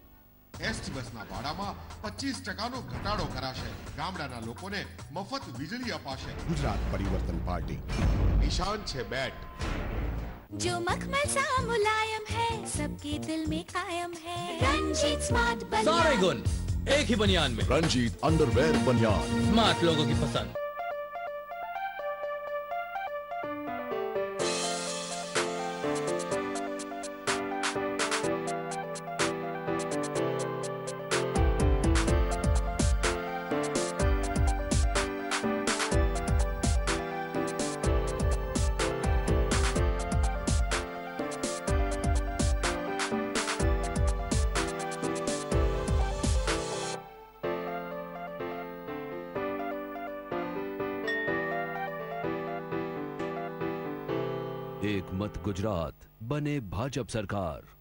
सभी प्रमुख RO water purifier उत्पादक hi tech की ही membrane इस्तेमाल करते हैं। Hitech R O membrane call one eight double zero one two zero one two one two आगाम गाम बोले परिवर्तन परिवर्तन हर शहर आज बोले परिवर्तन परिवर्तन सोनर ने नार बोले परिवर्तन परिवर्तन गुजरात आज बोले परिवर्तन परिवर्तन सोनेरी काल उगशे सुखना पतंग उड़शे सौथई समान जीवशे ने थाशे परिवर्तन गुजरात परिवर्तन पार्टी ગુજરાત પરિવર્તન પાર્ટી નિશાન છે બેટ